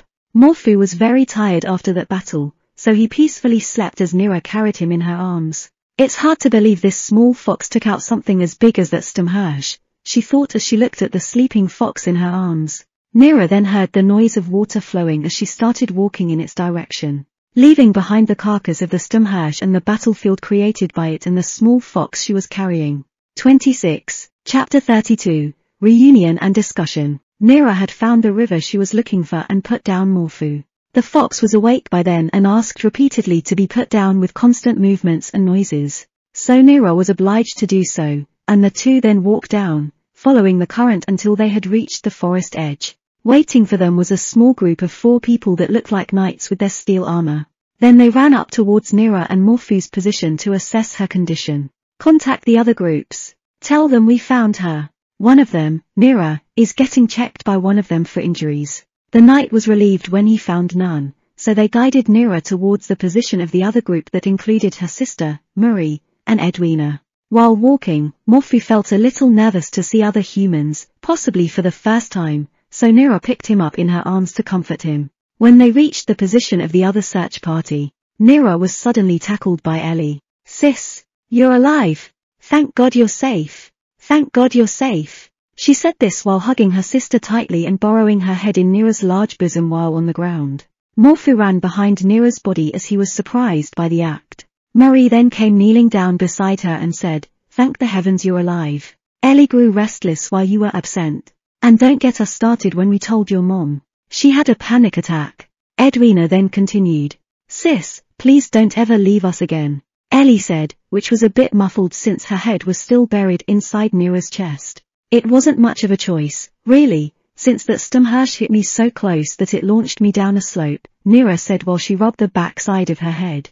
That reminds me, what did happen to the Sturmhirsch? Marie said as she held her head deep in thought. Well, I didn't get to see the entire fight, but Morphu finished him off. Nira said as she slowly stood back up, as did Ellie, who released Nira from the bear hug. Morphu? Who's that? Marie said as she also stood up. Morphu, you can stop hiding behind me, Nira said as she turned her torso to see that Morphu was hiding behind her legs. Morphu. He said this as Nira picked him up so the rest of the girls could see him. This little guy took him out. That's kind of hard to believe, Ellie said. No, it's understandable, Marie said. What do you mean? Ellie said. Morphu here is a Vulpin, a magical fox creature that has immense magical abilities but needs them to make a soul contract with somebody to fully awaken those abilities. Marie explained. So you're telling me this little guy is really strong but needs someone to make a soul contract with? Ellie asked. Yes, and it seems Morphu has chosen you to be his soul partner, Nira. Marie said with a smile. Incredible, I've never seen a Vulpan in close proximity before, Edwina said as she examined Morphu. Morphu, though, wasn't so happy with Edwina's staring. His secondary colors turned gray as he hid his face from his fluffy body and did so with a scared Morphu. Edwina, I think you're scaring him a bit, Nira said as she noticed that Morphu was uncomfortable. Sorry, I've just never seen one this close before, let alone visually see the intriguing details Morphu has to offer. Edwina said as she pulled back from all the staring she did at Morphu. Morphu lifted his small head a bit so he could see what was happening with a barely audible Morphu. Let's head back, Mom and Dad are so worried sick about you, Ellie said. The group agreed to be pulled back from the search because they had found what they were looking for. But at the same time, Nira started to plan out how to make something that could penetrate more and deal more damage from a long arm. So she started to remember all the parts she would need to manufacture a lever action rifle, as well as a new kind of priming method using the Doom Slime cores. While they were returning to Redfield, Guildmaster Victor was hard at work signing papers in his office as the door opened. A guildmaid peeked her head into the room and said, Guildmaster S-rank adventurer, Lady Amiria Faberos, is waiting for you. The guildmaster breathes a sigh of relief that the lead guildmaster had sent an S-ranker to help with the growing problem inside the northern forests. Let her in, he said as the guildmaid bowed and went downstairs. Waiting downstairs was an elf, her class was archer, given that she has a magically enchanted bow with a golden shine and a string that looks like silver. She had a cowl that hid her golden hair, which was let loose and so long that it reached her knees. Her eyes were a beautiful emerald green color, and her face could only be described with one word, beautiful. She had a blue cape with different embroidered golden symbols, among them was one in the shape of a golden bow. She also had a quiver with specially crafted arrows made to do maximum damage at impact. She wore a beautifully designed tunic underneath as well as a blue skirt with golden trims that went down to her thighs. She also wore white knee-high socks with golden trims and expensive-looking boots. Overall, her appearance screamed S-ranker. Lady Emeria, the guild master is ready to receive you, the maid said as she bowed. I am going up now, thank you. Lady Emeria said as she walked upstairs to the floor where the guild master was located. A knock came inside the office, and the guildmaster replied with an audible come in. Lady Emeria came inside the guildmaster's office as Victor motioned for her to sit beside a chair. Greetings, Lady Emeria he grinned. To you as well, Guildmaster Victor, she replied. I am sure you were informed of why you were dispatched here. He said, I am aware that monsters are moving in an unusual pattern and away from their original habitat. Lady Emeria said, Then, I can trust that you can help handle this issue. He asked. Yes, just assign me your most capable archer and swordsman. She said it with all the seriousness and formality you would expect for someone of her rank. Very well, he replied. I think I know the two who fit that criteria he thought. 26, Chapter 33, A New Cartridge. When the twins arrived home, her mother burst into tears and tackled Nira. Morphu dodged the fall from both his soul friend and her mother. Nira, thank God you're alright, you didn't get any injuries, right? No loss of limbs as well. She frantically checked every part of Nira's body. I'm alright, Mom. Morphu here finished off that deer. Nira replied, to which Mirabel seemed confused. Morphu? Who's that? Your new lover?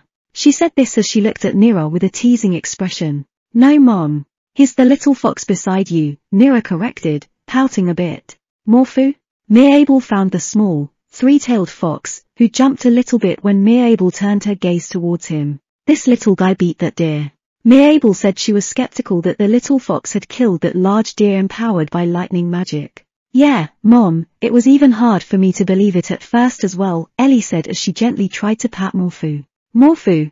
Morphu then ran away and hid himself under Nira's palm. Unfortunately, he's a bit shy, Ellie said, disappointed. As long as you're safe, Nira, and thank you, Morphu, for saving her life, she said, to which Morphu peeked out from Nira's palm and said, Morphu.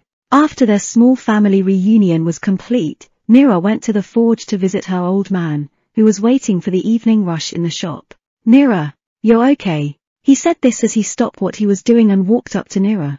He then gave her a tight hug, and Nira returned it. How did you manage to escape the Sturmhirsch? He asked as he pulled away. Morphu here killed it before it had a chance to finish me off, Nira explained briefly. In that case, thank you, Morphu, for saving her life, Marcus said as he kneeled down to try and pat Morphu. Morphu, but Morphu ran behind Nira but peeked his small head from the side of Nira's leg. I guess he's a bit shy, Marcus said as he stood back up. You should get some rest after all those two days inside a forest alone. He said as he went back to man his post inside the shop. You don't need any help, Dad. Nira asked as she picked up Morphu and noted that he had such fluffy fur. Nah, you just rest, I'll handle the shop. I've been doing this since you were a baby, Nira, Marcus said with a smirk. You got me there, old man, I'll go take a nap then, Nira said, to which Marcus nodded. She left the forge and went upstairs to her room. There she freshened herself up a bit and took a bath, after which she went to bed with Morphu climbing up and sleeping on her stomach. Nira woke up hours later, it was already night, and her family was most likely sleeping. So she woke Morphu gently with a tug on his tail. Morphu?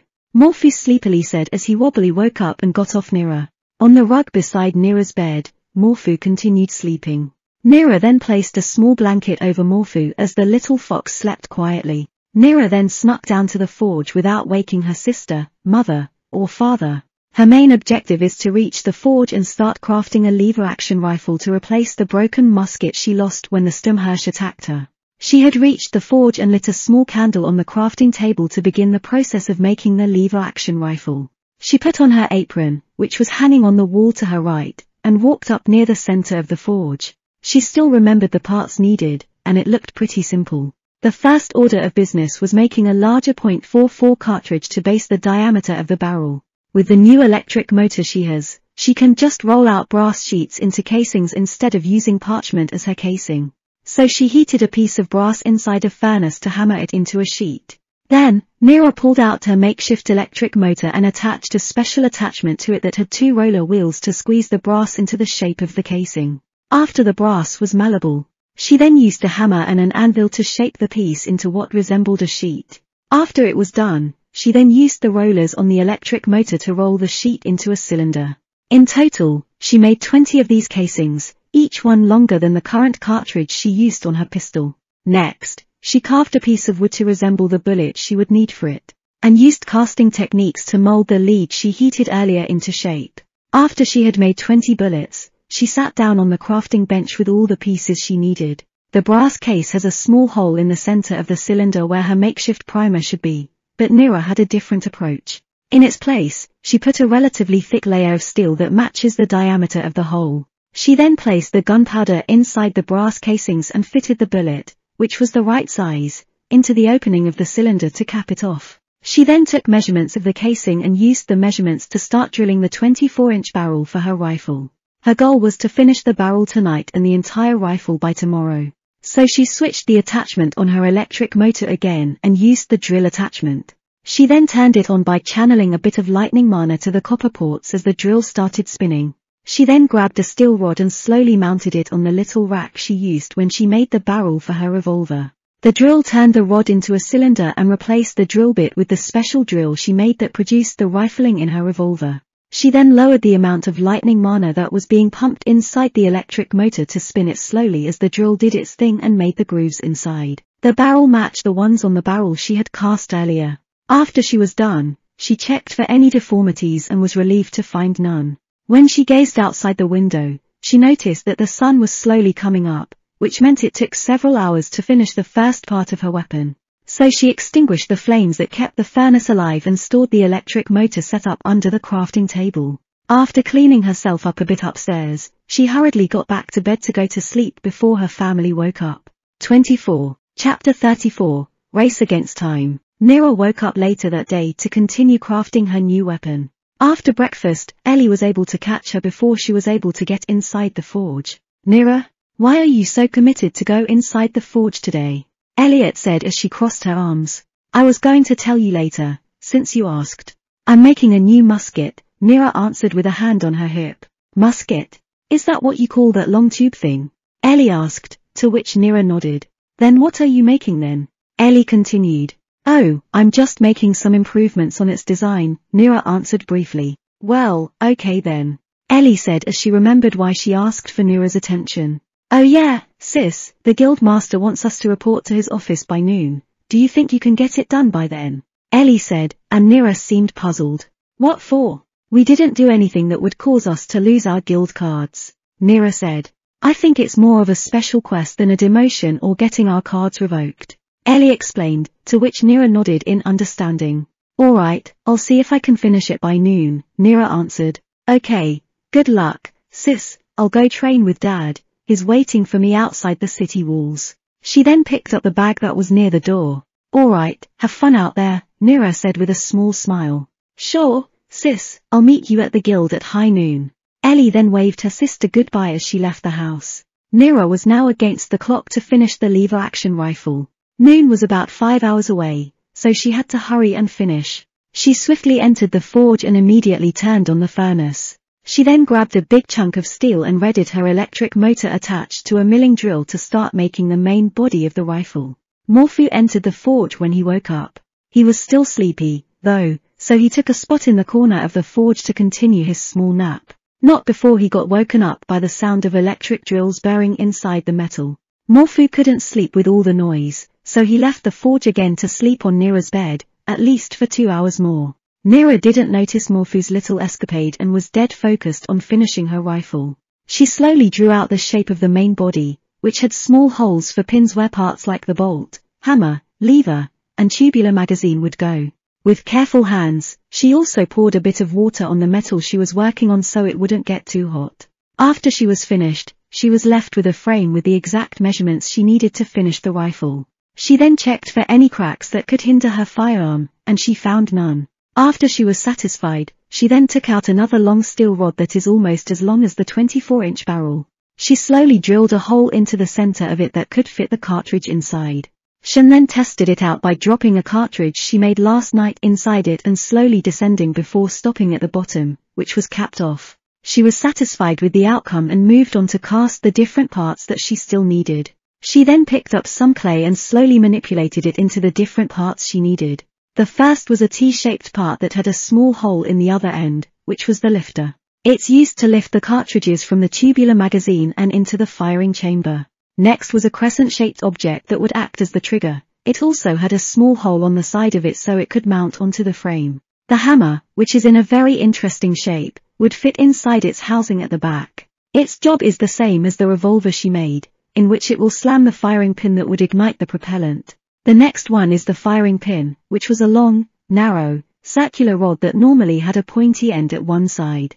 What Nira did was mold the clay to have a small dip at the end where she would place a doom slime core, which would slam into the thick steel disc under the modified cartridge she made, which would in turn cause it to combust and ignite the gunpowder inside, almost like a centerfire primer type. Finally, she molds the lever that will cycle the action and load a cartridge into the firing chamber. She then let it dry inside the furnace. She then placed steel ingots inside a crucible and into the same furnace where the mold was drying. While she waited for them to finish, she then used the electric drill to finish off the remaining parts, like the bolt, which will ram the cartridge inside the firing chamber.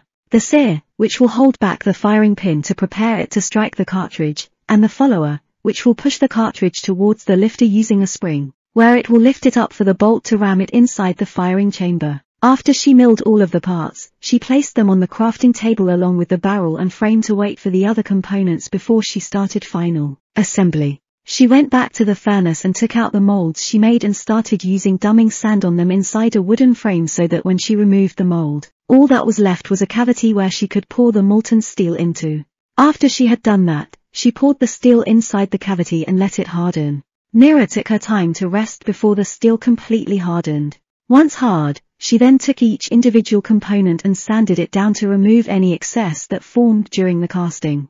After it was complete, she took all of the components and began final assembly. She first inserted the barrel into the firing chamber as well as the tubular magazine. She then placed a long, thin spring inside the tubular magazine before placing the follower inside it. It was a perfect fit, and every component slid down with ease. Next, she used pins to pin the lifter and lever in place. The notches allowed them to be placed on top of each other. She then added the trigger, along with a small spring, and pinned it along with the sear and hammer. Lastly, she inserted a small, long spring into the firing pin with a tiny doom slime core mounted on the tip of the firing pin. She then inserted the firing pin assembly inside the bolt and placed it inside the frame. The bolt had a notch in it which the lever could interact and push it forward and backward. She wiped it with a cloth and started to test it. First, she loaded a dummy round inside the tubular magazine, which was made by using the original cartridge as a mold for which she cast steel. She then loaded the tubular magazine with the dummy round and pulled the lever. She could see that when she pulled it down, the lifter also went down to pick up the round, which the follower pushed on. It also pulled the bolt backwards, which pushed the hammer down, coking it. She then pulled it back to its original position, and the lifter moved up as the bolt pushed it forward and chambered it inside the firing chamber. So far, so good, Nira thought. She then pressed the trigger as the hammer slammed forward, striking the firing pin, and she saw that the Doom slime core ignited when it struck the dummy round. If that were a real cartridge, it would fire off the cartridge. When she pulled the lever back down, the ejector, made from a small piece of steel, grabbed onto the dummy round, and the spring, along with the notches inside the frame, ejected the bullet into her hand. She then carved out the wooden pieces for the stock and the handguard for her firearm. She then attached them to the rifle using pins to hold it in place. Nira breathed a sigh of relief that she managed to finish it, and just in time too. She noticed the sun's rays were now near their peak, which meant it was almost noon. So she got kitted up and grabbed the belt that holstered her revolver and ammunition storage. She took out all the lead balls from her ammunition storage and replaced them with the .44 cartridges she made for her lever-action rifle. The rifle itself looked like an old Winchester Model 1873. She then grabbed her newly made lever-action rifle and dashed out of the front door. Morphu was waiting for her there so she picked him up onto her shoulder as she ran towards the Adventures Guild. Spoiler, to those who aren't familiar with firearms, here's a picture of what Nira made in this chapter. Winchester Model 1873. And here are the components. Did I manage to explain it correctly? Collapse. 23. Chapter 35. Quest Briefing. Nira reached her destination, which was the guild. Her sister, Ellie, was already standing by the entrance, waiting for her. Her sword was sheathed inside the scabbard, which was on her belt. Sis, you made it just in time. The guild master is already calling for us to go inside his room. Ellie said, is that the new musukuit you made? She added, pronouncing musket wrongly. Yep, I managed to finish it just in time, let's go in then. Nira said this as Ellie noticed that Morphu was hanging onto Nira's shoulder like a cat. Once they entered the guild, it was still as lively as it ever was. A guildmaid was waiting for them at the bottom of the stairs. D-rank adventurers Nira and Ellie Augustin, the guildmaster is waiting for you inside his office. She said this as she turned around to start climbing up the stairs. Follow me, please. She added. Nira and Ellie looked at each other and shrugged as they followed the guildmaid towards the guildmaster's office. While walking, Nira started constructing in her head what the guildmaster would call them for. Her thoughts were interrupted by the guildmaid knocking on the door to the guildmaster's office. Come in, a firm yet audible voice came from the other side as the maid motioned for them to come inside.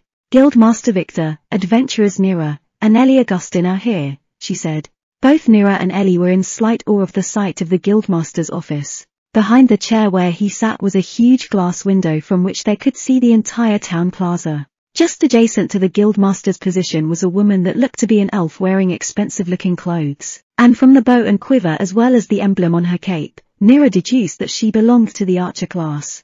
Thank you, Rose. You may leave us with our business. Guildmaster Victor spoke as the maid bowed and exited the room. He then motioned for them to sit down opposite him, to which they complied.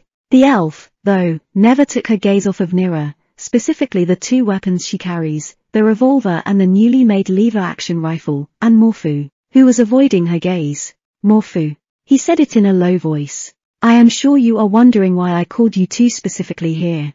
Victor and the twins nodded to his assumption. Firstly, introductions. Nira and Ellie Augustin, meet Lady Emiria Faberos, an S-rank adventurer dispatched to aid us in our problem, he said as he turned wide-eyed towards the elf in question. Greetings. Nira and Ellie, Lady Emiria said with a smile. It's nice to meet you as well, Lady Emiria, Nira said.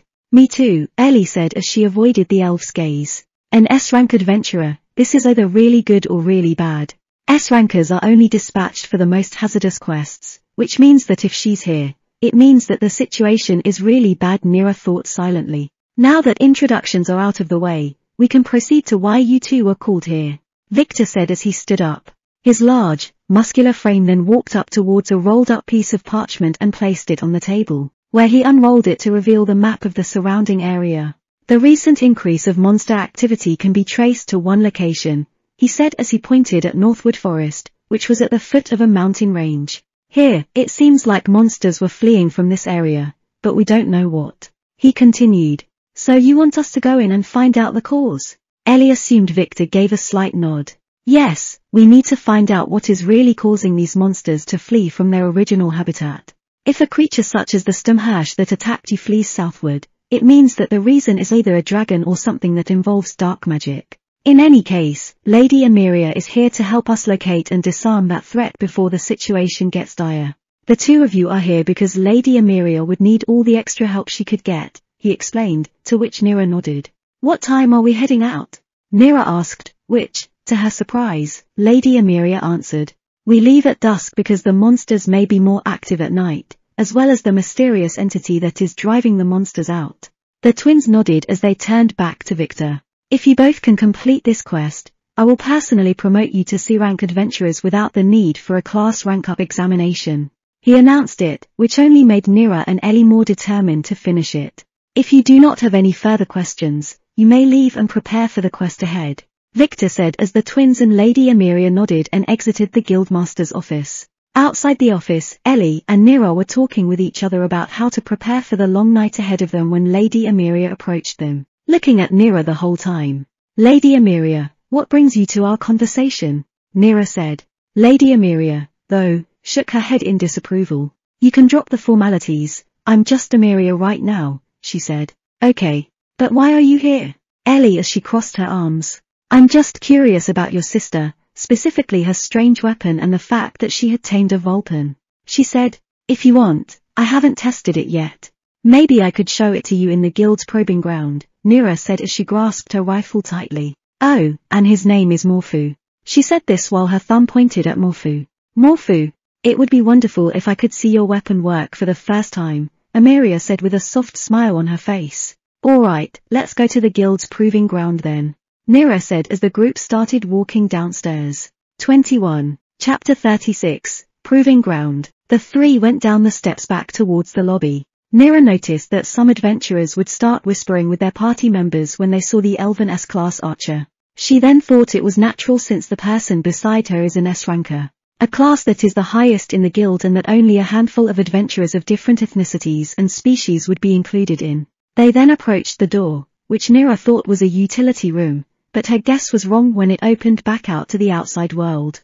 Now that she thought about it, she never did see the so-called proving ground of the guild in her almost three years as an adventurer. But nevertheless, the place looked more like a football stadium than a proving ground. Benches that were stacked three high can be seen on the outer edges where people would sit to watch an event, possibly by two adventurers settling disputes by combat. In the center was a raised stone platform where the guild rank up test would be held. The three went up the small steps that led to the platform. They then saw white lines that separated the platform into two as well as a circle located at the center, with the middle point represented as a dot. So far, nothing out of the ordinary yet. Hey, Ameria, what's so special about this place? Aren't the spectators going to be hurt with all the fighting and projectiles flying all over the place? Nira asked as she walked up to the elf. Ah, the spectators are actually really safe. There is a magical barrier here made by the runes that are etched beneath this platform that produces a mana shield to block anything that would end up outside. Ameria said as she stepped on a specific spot. Her foot was then lit with purple light from a magic circle that formed under her feet. Both Nira and Ellie suddenly flinched for an unknown reason. Do not be alarmed, it is just the shield activating due to myself channeling elemental mana into the conduit. She explained. Ellie then walked up to the edge of the platform. She then reached her hand out and was a bit startled when she felt a solid, invisible barrier that blocked her hand from reaching a certain distance. Nira nodded in Ellie's direction when she saw what her sister had done. Now what do we do? What do I aim at? Nira turned towards Ameria as she held up her Remington rifle. I'm getting towards that, please wait for a tiny bit. Ameria said as she again channeled her elemental mana towards the conduit that was located beneath her foot. The platform then started shaking as some panels shifted and the platform itself got longer.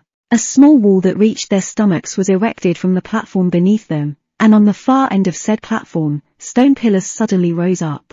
There were ten in total, each with varying sizes and distances. There, an archery range to fit our needs. Ameria said as she stepped off of the conduit. Nira noted that the conduit was the dot inside the circle that was marked by white paint before. Ellie then came up beside Nira as her gaze was fixated on the archer range that seemingly erupted from the platform itself. This is so cool. I wonder if the guild would let me practice my sword in here, Ellie said as she imagined the crazy training she would put herself through. Oh, I'm sorry to inform you that the guild only lets us S-rankers use this in any way we see fit. Anything below us S-ranks would have to write a letter addressed to the guild master if you wish to use the proving ground area. Ameria explained as Ellie slowly sank into a state of sadness. Nira then patted Ellie on the back in condolence as Ameria let out a small giggle at her companion's antics. Time to do what we came here for then, Nira announced as she opened the compartment on her belt to retrieve some cartridges to load inside her lever-action rifle. Ameria was looking at Nira curiously as Morphu suddenly awoke from his small nap. The Vulpan's secondary colors changed from black to yellow as it jumped down from Nira's shoulder. Nira then kneeled down to pat the small fox, to which the small fox replied with a cute Morphu. As the colors on his ears, tail, and paws changed into a red color, Ellie then stood back up and walked beside Emiria as Nira started loading the ammunition into the tubular magazine. Of course, the bottom of the cartridge was facing her when she loaded it inside. What are those little pebbles she's loading into that strange tube? Is it the projectile? Ameria thought as she saw Nira pull down the handle of her weapon. Nira noted that the lever was a bit stiff, but it still worked in the action of pulling the bolt backwards to cock the hammer while guiding the cartridge into the firing chamber. When she pulled back up, the bolt moved forward, chambering the round inside the firing chamber and leaving the hammer cocked. Alright, time to see if all that hard work paid off, Nira slowly said to herself as she walked up against the small wall and aimed her weapon. Her target was a small stone pillar that was 400 meters away. Amiria was surprised that Nira was going for the furthest target away. She took note of the way Nira was holding her metal tube and her leg stance while she held it. Nira aimed down on what would usually be iron sights with a post and an aperture, but in her haste to finish the weapon, she forgot to add it in. So she focused on the center of the barrel for her target acquisition. She held her breath as she slowly squeezed the trigger. When she did so, the sear disengaged with the hammer, so there was nothing stopping it from slamming into the firing pin. When it impacted, the firing pin transferred the kinetic energy into the tiny Doom slime core on its tip, and it impacted the steel disc that was under the cartridge. The core slammed into the disc, pushing it slightly so that the ignition from the contact would catch the gunpowder waiting to explode and propel the bullet forward. As the bullet traveled through the barrel, the grooves inside it made the bullet spin like a football being spun when thrown by a player. It exited the muzzle with such speed that it left the S-rank adventurer elf with them wide-eyed. Smoke covered the middle of her weapon as the lead bullet hit the target dead in the center, and she noticed that it was cut in half. Which makes sense because the pillar it was shot at was not that thick, only a few millimeters across. Nira breathed fresh oxygen into her lungs as relief filled her body. The lever-action rifle she made inside an old blacksmith's forge worked perfectly, with no visible damage to the weapon itself. She pumped her hand up like she won the lottery as she pulled the lever back down. As she did so, the bolt pulled back and the ejector sent the spent brass case into her hand. What have I just witnessed? Amiria thought as she was recovering from Nira's display. Her eyes went even wider when she looked past the pillar with her insanely good vision and noted that the projectile also had made a hole into the shield that was supposed to keep everything in. 22. Chapter 37. Show of Strength. Nira then unloaded all of the cartridges that were inside the tubular magazine. Each shot pierced the pillars that they were aimed at. After all of the pillars were destroyed, Nira collected all of the brass casings that were on the ground to be rearmed with gunpowder and reused. After the display, Ellie approached her along with Morphu. She picked up Morphu, whose secondary colors changed to black as she picked him up. Sis, you said that you made some improvements to that weapon, but you didn't mention that it was that large of an improvement. Ellie said it with shock in her voice. Yes, I'm surprised it worked. After all, you did rush me to finish it before the quest meeting earlier. Nira said as Ellie looked down and fidgeted with her fingers. Nira then thought of ways to make small adjustments, like adding a sling with the help of her mother as well as iron sights that would help her aim better. Maybe even an attachment rail to mount a scope so she could pick off targets from a much larger distance. As the twins were conversing with one another, Amiria was still recovering from her shock. Those pebbles penetrated the pillar as well as pierced the shield that was supposed to prevent everything from leaving the platform. She said in her mind as she looked at the hole in the shield using her impressive elven eyes. This is the kind of weapon nobles and kingdoms will fight over. I cannot let it or its creator fall into the wrong hands, she thought as she walked up to the twins, who were busy with each other's company. The twins stopped talking with each other when they heard a clap from Amiria, who was approaching them. That was a very impressive display, Nira, Amiria said as she stood in front of the twins. Thank you, Lady Amiria, Nira said. I must warn you, though. Nobles, kingdoms, and countries will fight over this weapon if word gets out about its existence. They may even come for you when the time comes, as well as your family, to use them as bargaining chips in exchange for your loyal service. Amiria warned as Nira thought for a second. She's right. They would come for my friends and family if they found out a weapon like this existed and if they knew I was its creator, Nira thought. I understand, Lady Amira. I would be extra careful when using this weapon. Nira said as Amiria nodded. Now that Nira has shown us her prowess, do you care to show yours, Ellie? Amiria said as she turned to the short-haired twin. Sure, why not? Does this platform create any soft dummies for me to practice on? Ellie said as Amiria motioned for them to follow her down the steps. Unfortunately, the platform could not accommodate such targets. So we would be using these instead, Amiria said while she pointed at five straw dummies that were lying on the floor. The twins and Amiria got to work, carrying one dummy Ika upstairs and into small holes provided by the stone platform.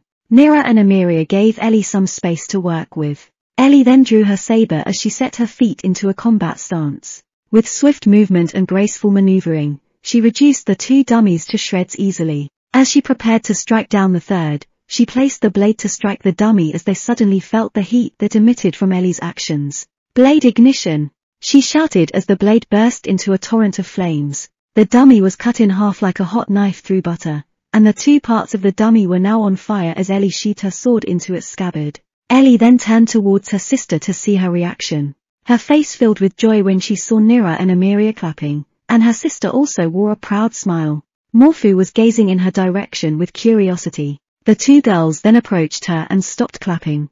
That was really impressive, Ellie, Nira said as she looked at her sister. Indeed, it was a very fine show of strength, Emiria said while she stopped clapping. Yeah, Ellie, I haven't even used magical enchantment on my weapons yet. Nira commented, which made Ellie feel a bit proud. Thanks, sis, Ellie said with a smile of her own. Now that is over, shall we start preparing for our quest later tonight? Emiria said as she stood on the conduit once again. The whole OK form rumbled as it returned to its original position. Aren't you going to show us what you can do? Ellie asked Emiria as she stepped away from the mana conduit. That is for later tonight, Ellie, I'm sure you would not be surprised, Emiria said. The group then left the proving ground and entered back inside the guild. They have so much time on their hands that the twins returned home, but not before informing Emiria of their departure. Once home, Ellie took a slight break, and Morphu ran up the stairs to take a nap in their room. Nira found herself back inside the forge. She then sat down on the crafting bench as she took out the barrel from her lever-action rifle and laid it flat on the table itself. She the she started attaching a post as well as an aperture to help her aim better by using her lightning magical affinity to weld it to the barrel. She then double-checked to make sure it did not deform the barrel in the slightest, and after that, she was done. She proceeded to rearrange the spent cartridges she used back on the proving ground. After that was done, she spent the rest of her time cleaning the recesses of her revolver as well as her newly made lever-action rifle. After that was done, she got help from her mother, who has experience working with leather, to help her make a sling for her weapon to help her carry it more comfortably. 23. Chapter 38. Ominous Feeling. Nira and Ellie left their house when the sun was setting. They had found Emiria, who was sitting on a bar stool with a drink in hand, waiting for them. Ah, you have arrived. Are you both ready for our little expedition? Emiria said as she stood up from the bar stool and left the payment for her drink. Yep, we're ready, Nira here just needed a bit of time preparing her weapon. Ellie then pointed at Nira. The latter was examining her firearm for any last-minute checks. What? She said this, looking at the two. Morphutilda the Vulpan fox then nuzzled his head onto Nira's and returned to his lazy position on her shoulder. Nira then slowly patted his head and thought about what Morphu finds to be his favorite food. She'll have to find out once they return home. Alright, let's get going then. Emiria then led the way outside the guild. By the time they left town, the sun had already set and darkness covered the land. The cold wind blew against their bodies as they walked up north to find out why the monsters were running away from the Northwood forest. Achoo! Ellie let out a cold sneeze as they paced toward the forest. Nira then gave Ellie a coat so she could stay warm. As for Nira, though, she was wearing a black tunic along with leather shoulder plates, which the Vulpan on her shoulder found comfy. Emiria, who was in front of the twins, then raised her hand while she gazed at the forest that was in front of them. What is it, Lady Emiria? Nira said as she walked up to her.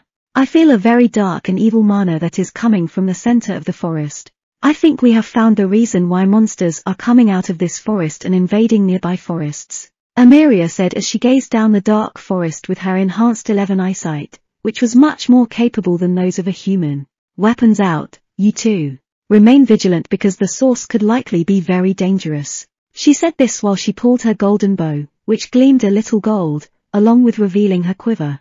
The twins pulled out their weapons, Ellie unsheathed her saber as Nira held her rifle. The latter started loading her rifle with ammunition. Emiria looked back at the twins to see what they were doing, and she got a nod from the two, confirming that they were ready. Morphu jumped down from Nira's shoulder as his secondary colors changed from blue to black. The group then entered the forest. It felt very eerie because the normal sounds of the forest, like birds chirping or the sound of bushes rattling from the movement of small creatures, couldn't be heard.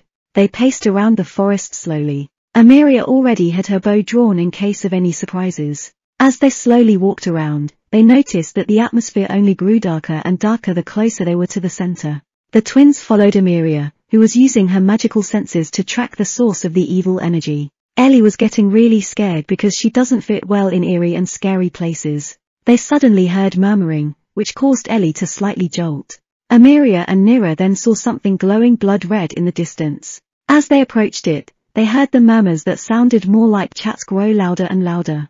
When they peeked behind a bush, they saw something truly ominous. Five people, all dressed in cloaks, were standing on the points of a five-point pentagram. In the center was a man who seemed to be opening the insides of a dead deer.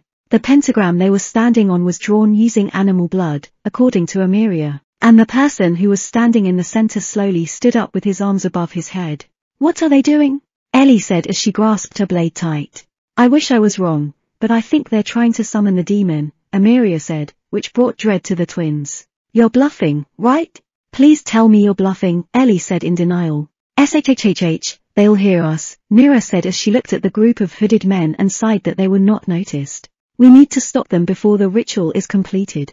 Nira, position yourself adjacent to me, the both of us will pick off the farthest ones while Ellie takes out the closest. If we do this correctly, they will be surprised and start panicking. Amiria said as the twins nodded in agreement. Nira slowly positioned herself where Amiria had told her and aimed her rifle at the three men farthest from their position. Ready? She heard Amiria and nodded. Now! Nira let off a shot aimed at the farthest person from her position. She managed to hit the man in the head, which caused him to lay down dead on the ground with a hole in his head.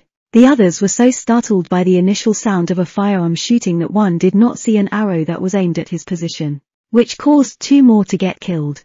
After pulling the lever on her rifle down and back up again, she let up another shot, which hit the one in the far left. Again, he lay motionless on the ground.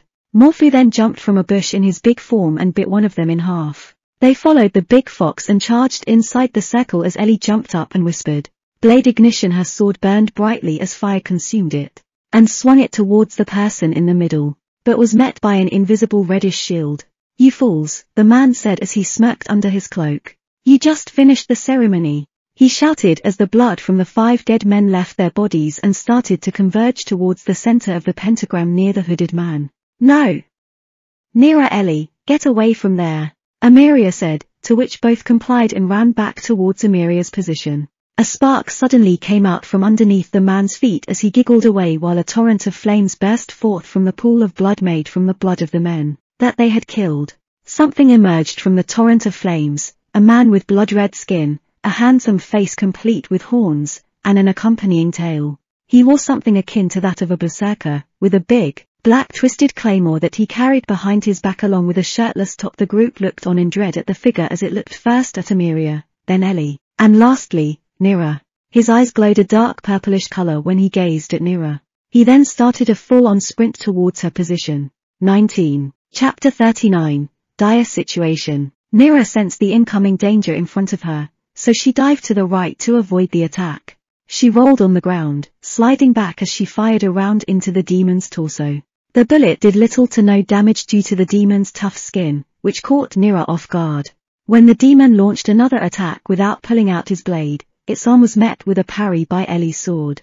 The girl gritted her teeth as she deflected the arm that was reaching for her sister. He's targeting Nira. Don't let him get close to her. Ellie shouted as she avoided a slash from the demon. Said demon has now fielded his large, jagged, and twisted blade since Ellie came into the fray. The force of his swing was so great that Ellie could feel the wind as it almost made her trip. Ellie tried to parry another swing that was aimed at her, but the force that was applied to her sword caused cracks in it as well, sending her barreling towards a nearby tree.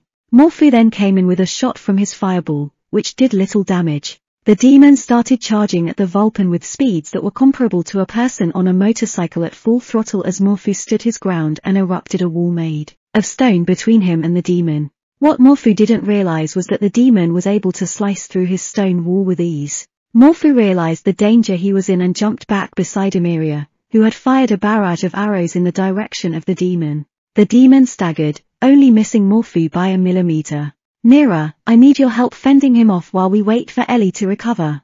Amiria shouted as she fired another three arrows at the demon. Said arrows gleamed a green color, and they kept that glowing color as they flew past Nira and into the demon, which caused him to stagger a bit. Nira nodded as she started putting down round after round until her magazine was completely empty. Morphu, cover me while I reload. Nira said as she started loading cartridges into the rifle one by one.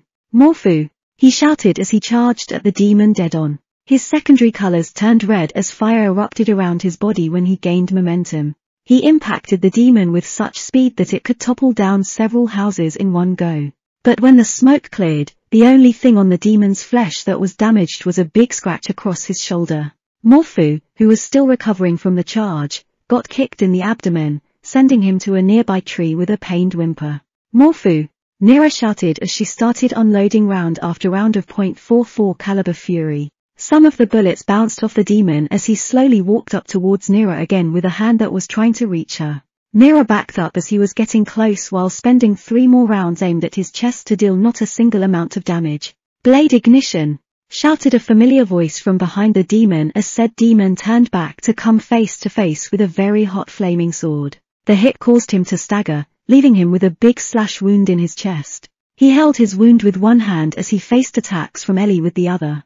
Nira took the chance to reload and fire shots at him. Some of the bullets barely bounced, but one penetrated through the back of the thigh which caused him to kneel down due to the weight of his upper body. Nira noted the weakness as the demon knocked Ellie back with a hit to her steel armor, which was dented beyond repair with the hit. Amiria continued to fire arrow after arrow at the demon, each one causing him to stagger backwards, as Morphu, who has now recovered from his previous hit, was also bombarding him with fireball after fireball. They feel like they're finally doing damage until the demon makes them all crash to the ground with a roar followed by a dark wave of evil magic. Nira was the first to recover, as she noticed that her friends and companion had been knocked out due to the blast. The demon turned back towards Nira, and as he did so, all the damage he received from her companions was immediately healed.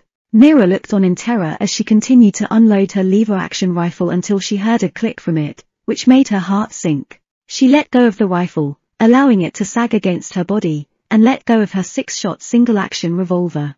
She was getting desperate until she felt a hand hold her by the throat as she was lifted into the air. She felt the demon turn her head to the side to examine her face. So, you are her, he said while smirking. His deep and terrifying voice echoed as another torrent of flame came out behind him. Nira knew what he was trying to do, so she struggled in his hold as she slowly started to black out from lack of oxygen. When all hope seemed lost, she heard a yell from the other side of the pillar of flames. Elemental break. She heard Amiria shout as a tremendous amount of mana suddenly engulfed the battlefield. A golden arrow suddenly went through the pillar of flames as it hit the demon in the back, making him scream in pain. He dropped Nira, who started coughing, on the ground due to almost passing out from lack of oxygen. The flame pillar suddenly went away as she saw the figure of Amiria, who was glowing a dim green and had her teeth gritted. She let off another three arrows that were slightly bigger than the ones she fired, which caused the demon to stagger back away from Nira. Nira! His thighs are the weak spot. Immobilize him for me so I can kill him. She shouted as she continued to fire arrow after arrow. The demon looked towards Amiria's position with anger as he started walking towards her. Nira loaded two cartridges into her rifle and shot one at the back of the demon's thigh, which caused him to kneel down. She cycled the action again with the pull of the lever and shot the other thigh, which made him kneel with his two legs. Get out of there! Amiria shouted as wind elemental mana coursed through her arms and into the arrow that was loaded in her bow. Nira immediately got up and ran to safety as Amiria aimed up with her bow. Arrow barrage! She shouted as a shockwave was produced by her shooting the charged arrow into the sky. A few seconds later, the arrow came falling back down, but this time, with hundreds of arrows, they started peppering the demon, causing extreme damage and leaving him with so many wounds that it was impossible to regenerate.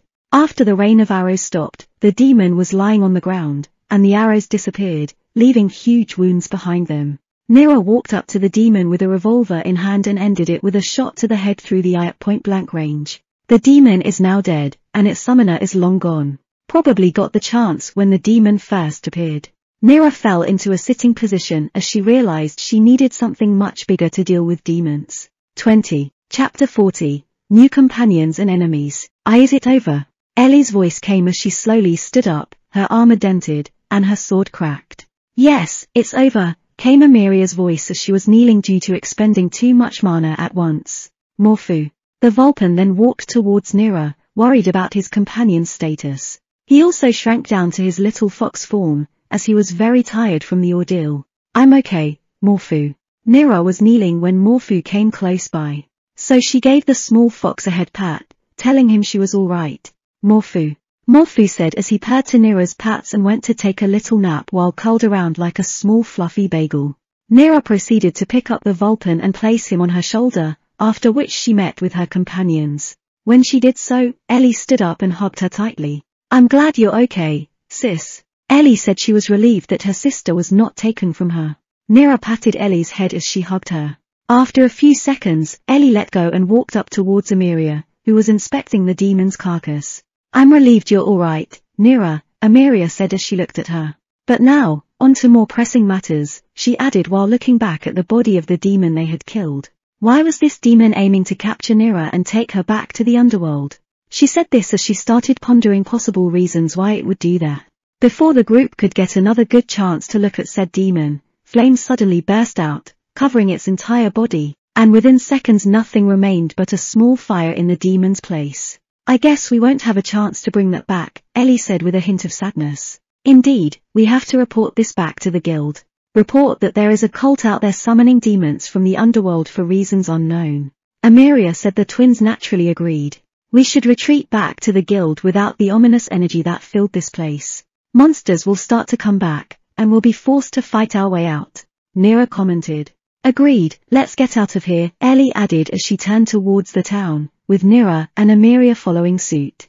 Inside an undisclosed location, the hooded figure that summoned the demon earlier walked down a long hallway with luxurious interior designs very reminiscent of old Gothic. The man approached an enormous set of doors as two guards with a big and tanky build opened them, revealing a huge room that could fit any type of occasion. And in the middle of said room is a table with a map of the entire world on top of it. Have you finished your task?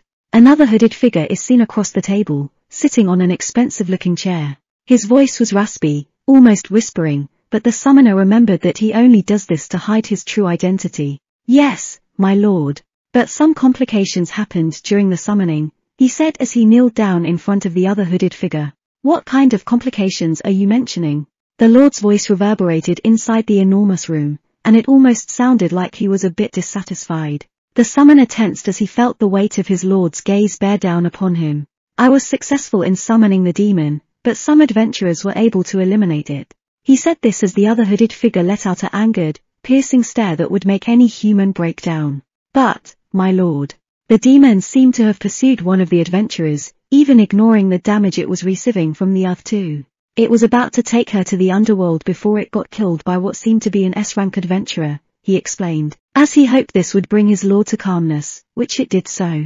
I see. The hooded figure then leaned forward and placed his elbows on the table while crossing his fingers with one another.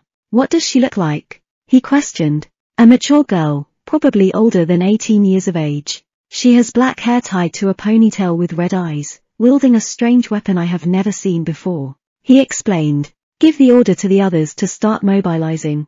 The time of rapture is upon us. The hooded figure said as he stood up. Glory to the new empire the summoner shouted as the good-looking figure nodded, which was a sign that the summoner was dismissed. The summoner left the room with the door closed behind him. The hooded figure sat back down on the chair while looking at the map of the world on his desk. Glory to my new empire. He said as he stabbed a knife at the capital city of Ceres. I see, and no one else has heard of this incident. Guildmaster Victor said as he was finished being briefed by Nira, Ellie, and Amiria. No one Guildmaster, I suggest we keep this a secret and state an official report as a dragon nest was created near the forest. Amiria said. Alright, I will pass this on to the guild boss himself. Hopefully, with the help of other S-rank adventurers, we would get to the bottom of this demonic summoning cult. Victor said as he started writing the fake report of the incident. Indeed, as for Nira, I would suggest she go out with a very capable guard since she will be the target of the demons until we can find out what they want with her. Amiria said. And for that reason, Nira Augustini, Amiria Faberos, will travel along with you to act as your guard until this situation has cleared. Amiria added as she placed her hand above her chest. And for the quest you two have done. Expect your C-rank guild cards ready by tomorrow as well as getting a new set of armor from us, free of charge Victor added. Thank you, Lady Amiria, Guildmaster Victor. Nira said thankful that she'll have some help with this threat looming in the corner. 14. Chapter 41, Dilemma, Next. When the next day arrived, Nira and Ellie received their C-rank guild cards as well as the new armor the guild had paid for. For Ellie, her dented and cracked armor was replaced with a black one-piece uniform that gave her supreme maneuverability and a new red katana with its black scabbard. Nira wondered why Ellie switched preferences, but Ellie just says that her old armor slowed her down, which caused her to get hit multiple times by the demon. Nira had to agree, but she was still weary of her sisters making a mistake. For Nira, her attire consisted of small blackened steel shoulder plates, a white top with multiple bands of red leather strips to support her bust weight and to protect against slashing attacks, a white top with a black leather corset for her torso, and black leather arm guards to help with defense. Nira did feel that the dark blue skirt that hugged her thighs felt a little too short, but she brushed it off after she realized that this set was really expensive and cost the guild three golden coins each. She also felt it would show off more of her thighs since at her back was a leather waist cape that hid her plump thighs from people trying to peek from the back. I guess that is all. The guildmaid who handed them their new equipment said. Yep, thanks for the help, Ellie replied while she took a look at her new equipment. It's my pleasure, the guildmaid said while she bowed in front of the twins. After they had received their new equipment and rank cards, they decided to take a break from the tiring night battle that came last night before embarking on an epic quest that would lead them to the next city, Ares. Amiria was also taking a break from the night before and stayed at the guild to recuperate. So, the twins went home, with Ellie taking a nap on the bed, while Nira entered the forge to plan her next advancement. When she went inside, the small Vulpan fox Morphu was waiting for her. Hey, Morphu, have you been waiting for me? Nira asked as she kneeled down to pat the fox. Morphu. The fox slowly walked up to Nira and got assaulted with pats. His secondary color changed from black to red. Hee hee, you did a really good job trying to protect me from that demon. Unlucky, he was just too strong, Nira said as Morphu stopped playing with her hands. Morphu. She heard the small fox mutter as his colors changed again from red to blue. It's alright, Morphu, that reminds me. Because of your courageous actions last night, what do you say I feed you some food? Nira smiled softly as she suddenly felt the small fox jump on her shoulder. Morphu, she heard him say enthusiastically. His colors changed again, from blue to yellow.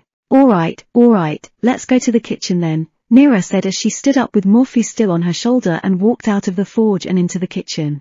She placed Morphu on the table and went to grab some food by opening a compartment where their mother stores all of it. Hum, this is a good chance to see what Morphu's favorite food is too, Nira said to herself as she grabbed one of each food item they had. Here you go, Morphu, pick one you like. Nira then laid out the food items in front of Morphu so the small fox could pick. Morphu then got up and started sniffing the food, his nose was drawn by some, but Nira noticed that Morphu wanted to eat something other than meat. So she grabbed all the meat and placed it back in storage. Morphu walked around, trying to find something that smelled good. Morphu's colors suddenly changed green as he did so, until he found a rather delicious scent that came from a slice of bread. When he took a bite out of it, he erupted in an explosion of happiness as he consumed the bread in no time at all.